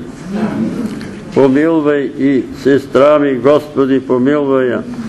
Молиме Ти за евангелизатора Луис Палао. Господи, има проблеми в гърдите. Ако това е раково образование, да умре в името на Исус, да изчезне от гърдите му и да се разрушат образованията. Господи, помилвай го, ако е проповядвал нещо криво учение, изобречи го директно, Господи, и спаси душата му и царителото. Милост, милост за Твоя народ, Господи, за всички синове и дъщери на пастири, на проповедници, на свещеници, които са далеч от църквата, които светът ги мами и се старае да ги погуби. Господи, обърни ги към себе си. Помогни им да се свестат и да се опомнат и да се върнат при своя небесен Отец. Господи, благослови брат Коста и дома му, съпругата му, майка му, тъщата му и целият им дом и род. И това, което има да изповяда или да изхвърли от дома си, сили му дай да го изхвърли. Амин. Молим те, Господи, изобличавай домовете ни. Аз ти благодаря за тази книга, че ме предупреди да я изхвърля. Ако има и други книги, предупреждавай ни да очистваме домовете си, защото вярвам, че това е Твоята воля. Благодарим ти, Господи. Молим ти за уния, които са по болничните легла, наши брата и сестри, които са в отеснение. Помилвай ги, благослови ги, мило за вдовиците, молим за сестра. Васка, утешавай я, благославяй я, пази и помагай. Господи, молиме те уния, които са насилвани от дявола и обикаляше Юдея и Галилея и ги избавяше сега. Обиколи България, избави насилваните от дявола. Господи, молиме те за дома на сестра Мария и брат Иван не знаем какво означава този съд. Може би са някакви грижи, от които те трябва да се оттърсят и да се освободят и да гледат на Тебе, Господи. Милост за брат Пепи, милост за тия, които ги няма между нас, и страх Христина. Милост, Господи, за Мери и синовете и внуците и за Николай. Милост за Кирчо, освободи го, ето чухме за един брат, който дълго време беше вързан от този демон на хазарт и сега го напуснал хазарта и е освободен. Молим те и за сина на брат Кирил. Освободи сина му. Освободи сина му от този демон на хазарт. Милост за брат Тодор и дъщеря му. Милост за страцетка за Антуанет помогни му да вземе правилното решение в живота си. Молим и ти за всички твои люди, молим и ти за сестра Ваня и дъщерите и дома и молим и ти, Господи, и за тия събрания, които се провеждат тук на брат Юри и на брат Евгений или други проповедници, ако имат тия събрания благослови ги, помилвай ги, бъди с тях, ръководи ги пази ги. И сега те молиме, Господи, да изпратиш духа си, според както си ни обещал. Ще измозя от Отца и ще ви изпратят друг утешител. И в последно време ще изливам духа си на всяка твар. Отче святи, и те молиме да излееш духа си сега върху нас. Амин. Сложете ръцете на болните място.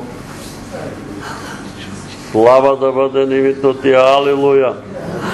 Ела душе святи. Алилуя.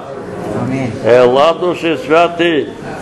И мини от глава на глава, от сърце на сърце. Посети ни свише отгоре.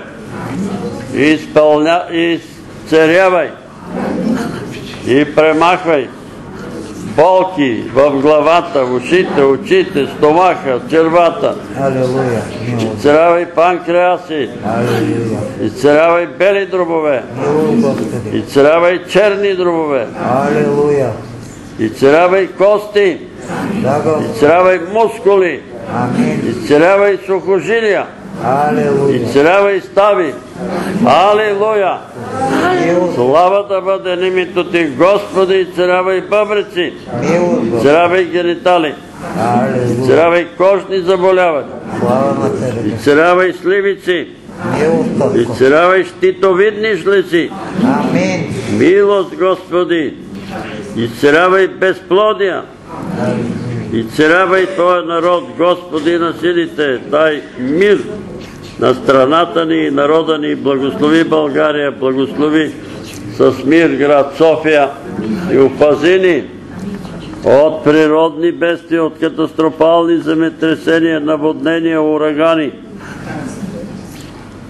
Господи, И всичко това пише в Божието Слово, че е приготвено за нечестивите, но ние те молиме да си смили за нас, да ни защитиш и да опазиш домовете на Твоите чада, на Твоя народ от краци и разбойници. Молиме Те, уния, които ни мразят, отвори им очите да познаят истината, истината да ги направи свободни. Амин. Благослови нашите по плът роднини, Алелуя. там където са. Говори им, Господи, да се свестат и да се опомнят, да настане мир в душите им, Амин. да се свестят и да извикат към Тебе и да станат Христови ученици, за да ги забавиш, за да ги прибавиш към книгата на живота. Запиши имената й. Молиме Те, Господи, за всеки човек, който е прекрачил прага на този молитвен дом, Да, Господи. да бъде докоснат от Твоя дух, да бъде докосната душата му и духа му, а и тялото му, Амин. и да дойде благословение и царение и на душите ни, и на телата ни, слава да бъде името Ти. Да, Господи. И сега желаеме да ти се помолиме с молитвата, с която Твоя син ни е научил да се молиме. Да казваме Отче наш, който си на небесата, да се свят Името Твое. Да дойде царство Твое, да бъде волята Твоя, както на небето, така и на земята. Хлябът наш насъщни, дай го нам днес и прости дълговете наши, както и ние прощаваме на нашите длъжници. И не ни въвеждай в изкушение, но избави нас от лукавия, защото е Твое царството и силата и славата во веки веков. Амин.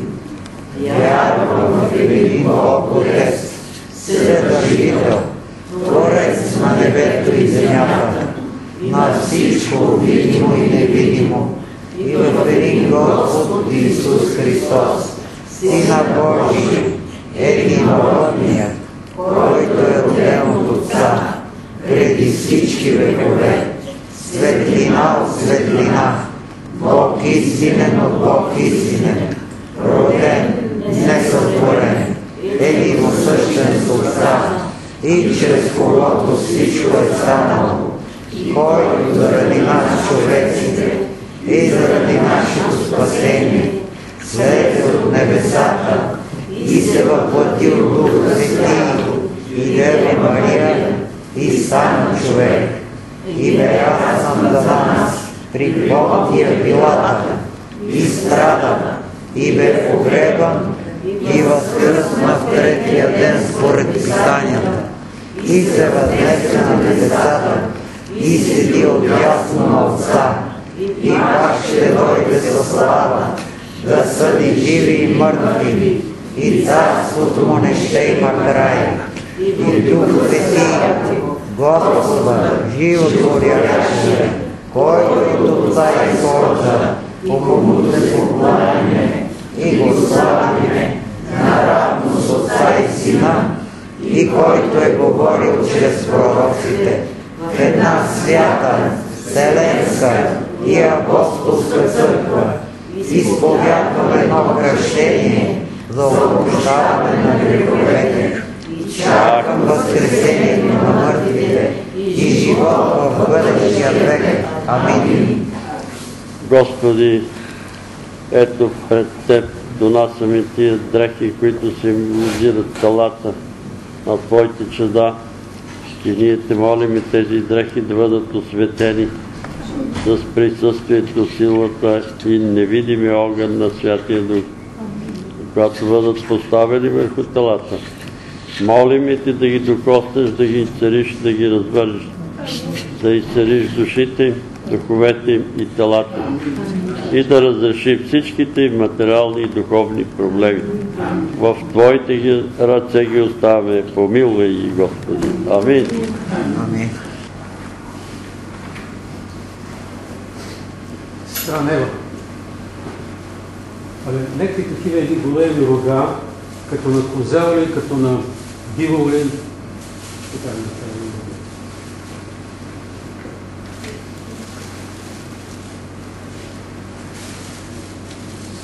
Сестра Калинка и няма тук, нали? Гледа ли си Калинка? Не, тук е. А? Тук е, ще дойде. Я виждам. Ще дойде.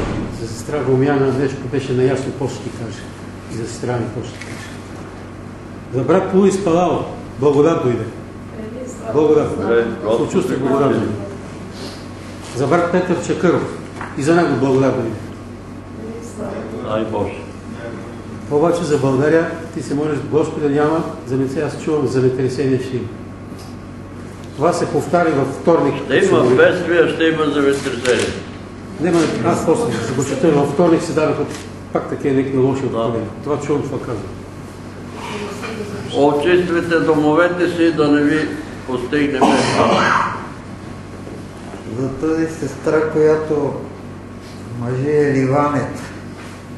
Значи виждам една обърната бъчва, която се търкаля по един наклонен каменист път. Изкача, трещи, тресе се, ама е здрава. Не знам дали е пълна бъчвата, но това виждам, това казвам. За Димитър Ярчев. Виждам един изоставен бял трабант с паднати гуми, мръсен такъв, но е бял трабант. Добре, изоставила е разправите. За Коста и роднините му. Виждам част от танк, но точно движещата се част на веригата и се движи е, по каменист път и чувам. Има опасност да бъдат смачкани. Не знам, това чувам, това казвам. Ако има нещо, изхвърляйте коста, буклуци, чужди работи, ако нещо сте Да, слушам. из... откраднали, върнете го, кажете, изповядайте го, защото и да... Като го изповядаш, Господ, нали, е милостив.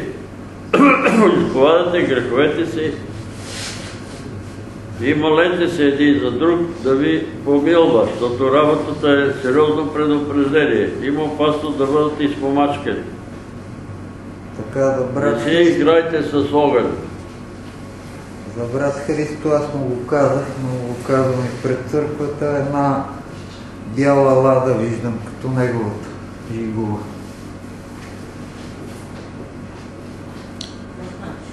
Еми, дай Боже, да си купи бяла лада. Е, не знам, стара, стара е, стара е, тя е много А, стара. Стара такава захабена, както е трабанта на Димитър Ярчев. Брат Христо, няма ли... Или е проблеми, стари проблеми, нека Да. има, или пък ще си имам, оле това ми е изгнила, трябва така да си имам. Едно от двете, ама не знам Господ да ми каже какво е. Няма ли поражение? При Гошево няма ли поражение от а, ураган? Не сме ходили с брат ми две седмици. А, не знам. Не сме ходили. За И нас пред блока едно гнило дърво. Ама не пострадали. Е, е за сестра Нева виждам, че лади по пода на четири крака.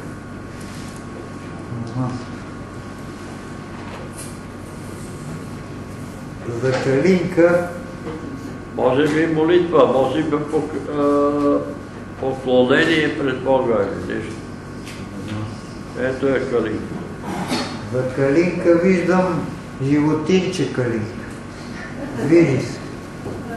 Животинка Калинка виждам. Да, Калинка, малинка. Повече движение. За Пантелей и семейството му чувам непослушание. Еви, това непослушание си пати. За Красимира, която има проблем с цигарите да дойде в църквата. Е, тя идва от време на време. този проповедник Палао ли се казва? Луис Палао. Изповед по мирния договор. Не А, го пратя един мирен договор. Трябва да. По, по интернет мога да се изпрати. А? По интернет може да се изпрати. Може, може, да. За брат Иван и неговия дом виждам, че дига лека штанга, така и я дига. Какво ще рече, не знам. За Кирил, на брат Кирил, виждам една карта за игра. Играе ли карта? Не.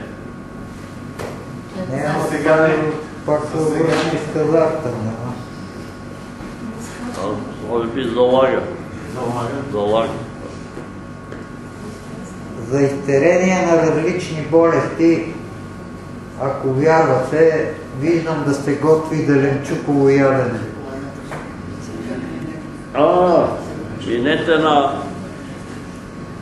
Беше вегетарианска храна. Така. И за дрехите виждам една жена в светли дрехи с светъл, с светла забратка на главата да ги пере дрехите. Това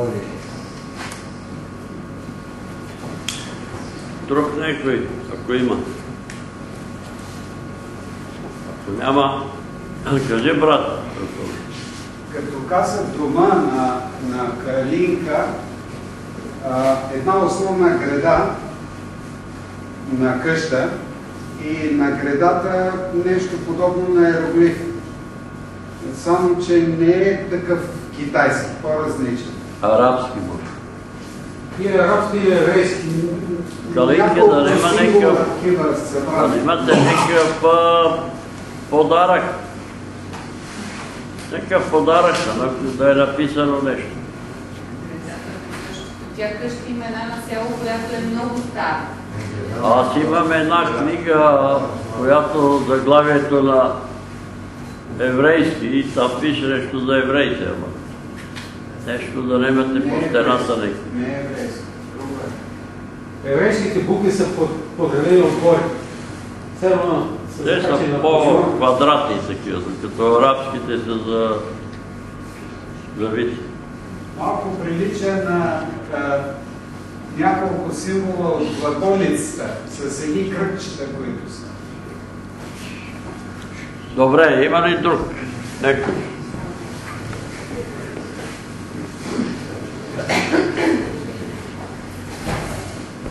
Ако няма, брат Димитре, заповядай.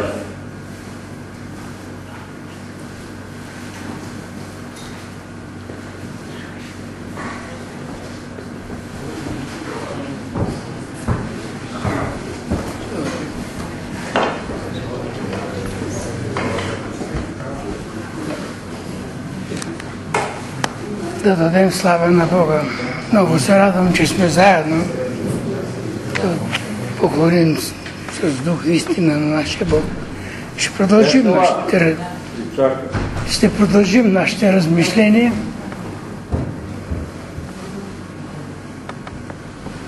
Откровение, глава 3, от 7 до 13 стих. Трета глава. Трета глава. От 7 до 13. от 7 до 13 стих за Филаделфия.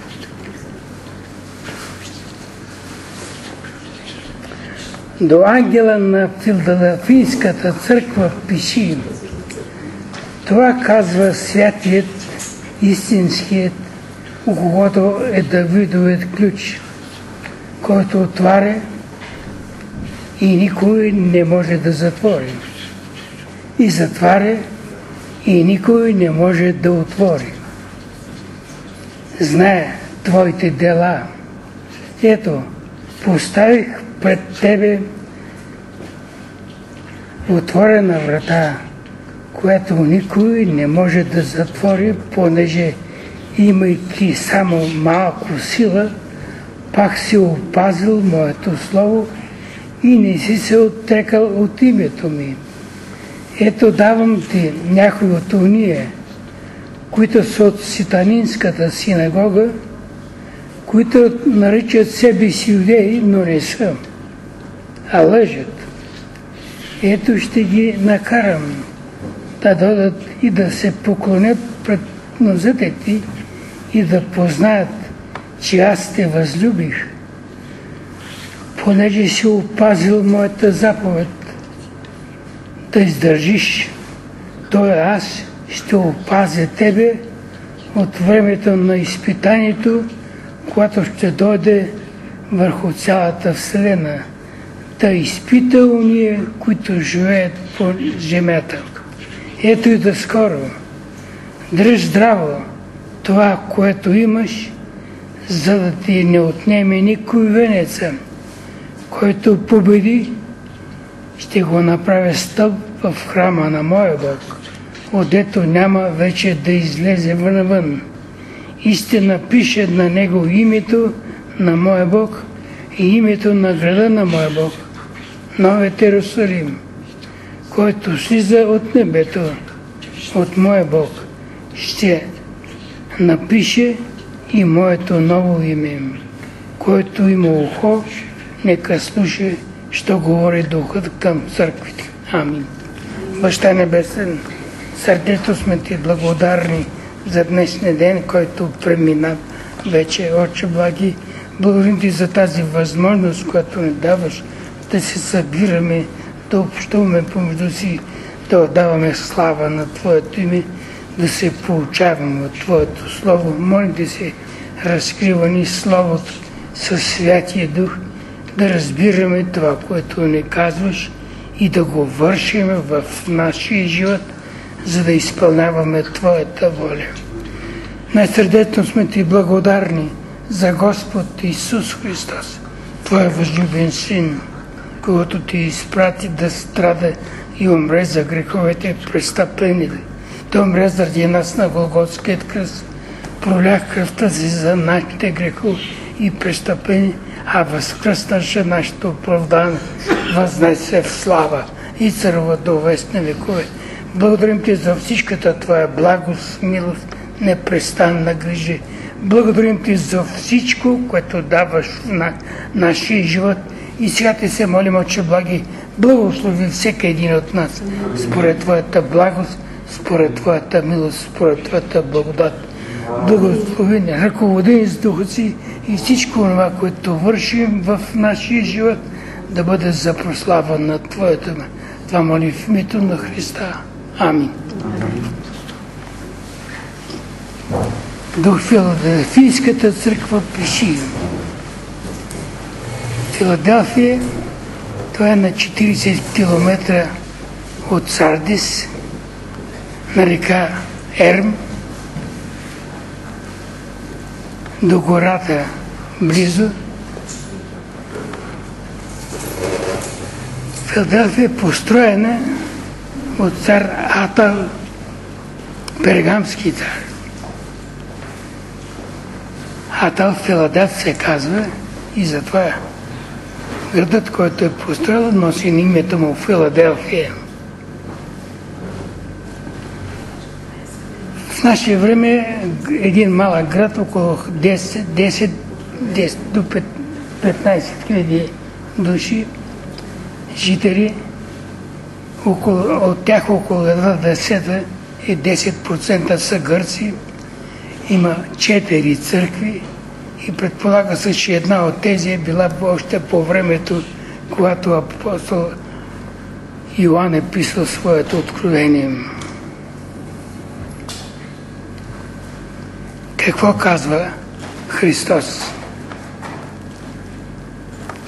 Това казва онзи, който е истинен, верен свидетел. Ухото е Давидовият меч. Това е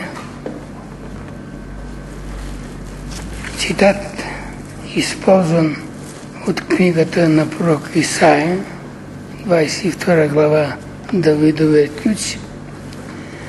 Какво казва Христос за църквата?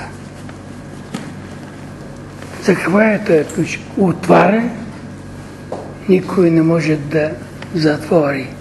Затваря, никой не може да отвори. Той владее всичко. При тебе има отворена врата. Това е свобода на благовестието. Врата отворена. Ако си спомняте, в едно от посланите на апостол Павел пише за верващите да се молят за него, Бог да отвори врата за благовестие. И ние тук виждаме, че Бог казва на църквата в Филаделфия, че има отворена врата, което никой не може да отвори. Те са свободни да благовестват и затова никой не може да им попречи. Въпреки твоята мал, малка сила по преценка на Христос, понеже имаш малко сила, но с тази сила ти я използваш. Ние обикновено викаме, че сме слаби, а тук Христос има това предвид. Малко сила, но използваш малко сила и въпреки тази малко сила ти си опазил Словото ми. Опазил си Словото, опазил си това, което ти е поверено. Какво е обкръжението на Филаделфийската църква? Езичници, които не вярват и лъжливи юдеи, които смятат себе, че са правоверни, а Христос каза, че са лъжци. Не, и са сатанинска синагога. На третата и четвърта църква, в която Христос споменава за тези лъжеучители и ги определява като сатанисти, сатанинска синагога. Смятат себе си, че са юдеи, че са правоверни, а лъжат. И какво обещава Бог? Понеже ти си опазил моето слово, въпреки малката сила, която имаш, и аз ще опазя тебе когато дойде изпитанието, да изпита цялата Вселена. Какво обещава Бог? Въпреки онова, което ни ми по негова преценка малко, но достатъчно да бъдем верни, да устояваме, отговорът на Бога е какво? И аз ще пазя тебе когато дойде изпитанието, няма да бъдеш сам. Това е Божието обещание. Защо? Аз често пъти и да миналата седмица казах на тези в групата да научат последният стих от на Евангелието от Матей, да не се боите от нищо. И затова и на вас ви казвам, научете на Исус последния стих на Евангелието от Матей. Знаете ли кое е? Аз съм с вас през всички дни до свършика на века. Точно това казва и Бог на тази, на църквата в Филаделфия. Ще дойде изпитание да изпита цялата Вселена, но аз ще те пазя, защо аз съм с вас. Ти пазиш моето слово и аз ще пазя тебе. Това е Божието обещание.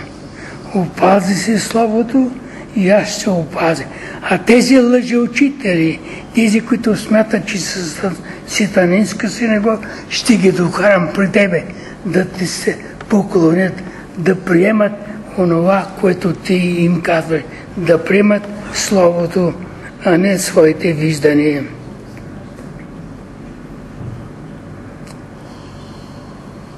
Друго обещание, което дава Христос на църквата в Филаделфия,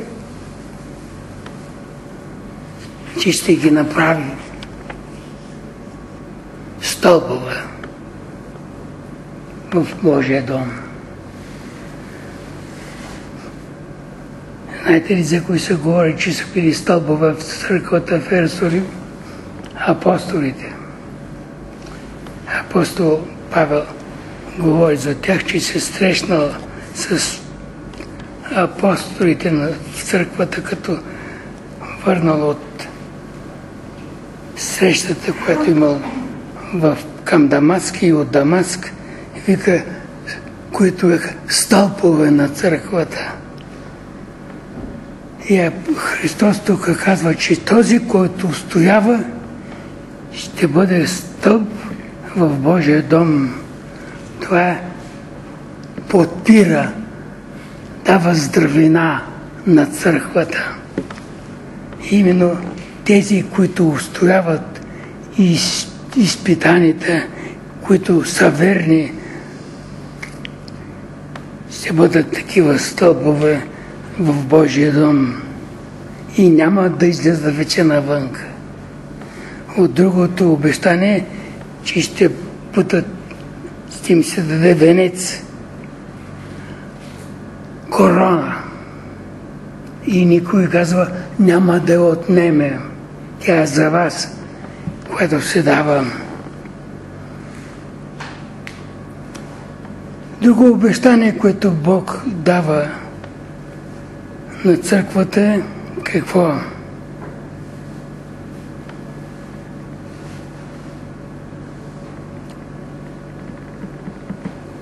Ще има, ще му даде ново име,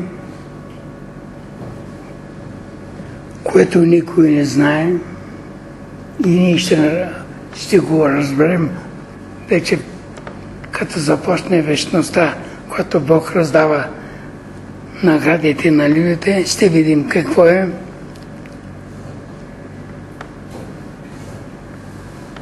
Друго обещание, което Бог дава на църквата в е, че те ще бъдат в Новия Иерусалим, който слиза от Бога. Накрая Бог дава това откровение да види самия Йоан, кой е Божият новият Иерусалим, който слиза от небето.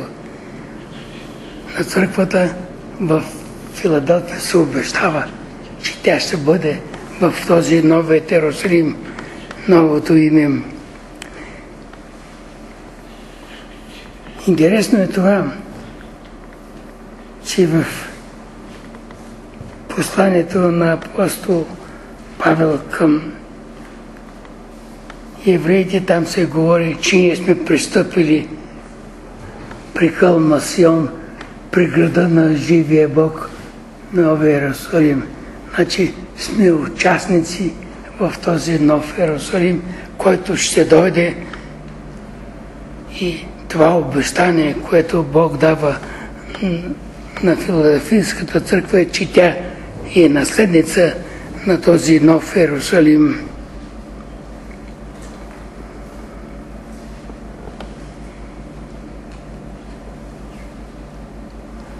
Но тук се съобщава и нещо друго, което ни остава като да размишляваме, че ще напише и новото мое име. Кое е името на Исус Христос? Божието Слово. Но тук казва новото мое, ново, моето ново име. Кое ще бъде? Ще го видим. Сега не знаем. Не, той не го казва и на философийската ще го напише, но кое е новото име не казва кое е. Ново име ще има дадено от Бога на Исус Христос и Той ще ни го даде на нас. Ще го напише в сърцата ни. Ще го напише да бъде и в с нас заедно. Защо? Защото ще бъдем като Него. Значи, ще бъдем като Исус Христос. Това е нашата надежда. Христос като едно голямо семейство, Бог Отец, нашият Бог, който е и на Бог, на Исус Христос Божи, Бог Отец, защото Той казва, моят Бог и вашия Бог, мой Отец и вашия Отец. Значи този Бог ще даде ние да бъдем като Исус Христос. И тогава вече ще имаме това ново име.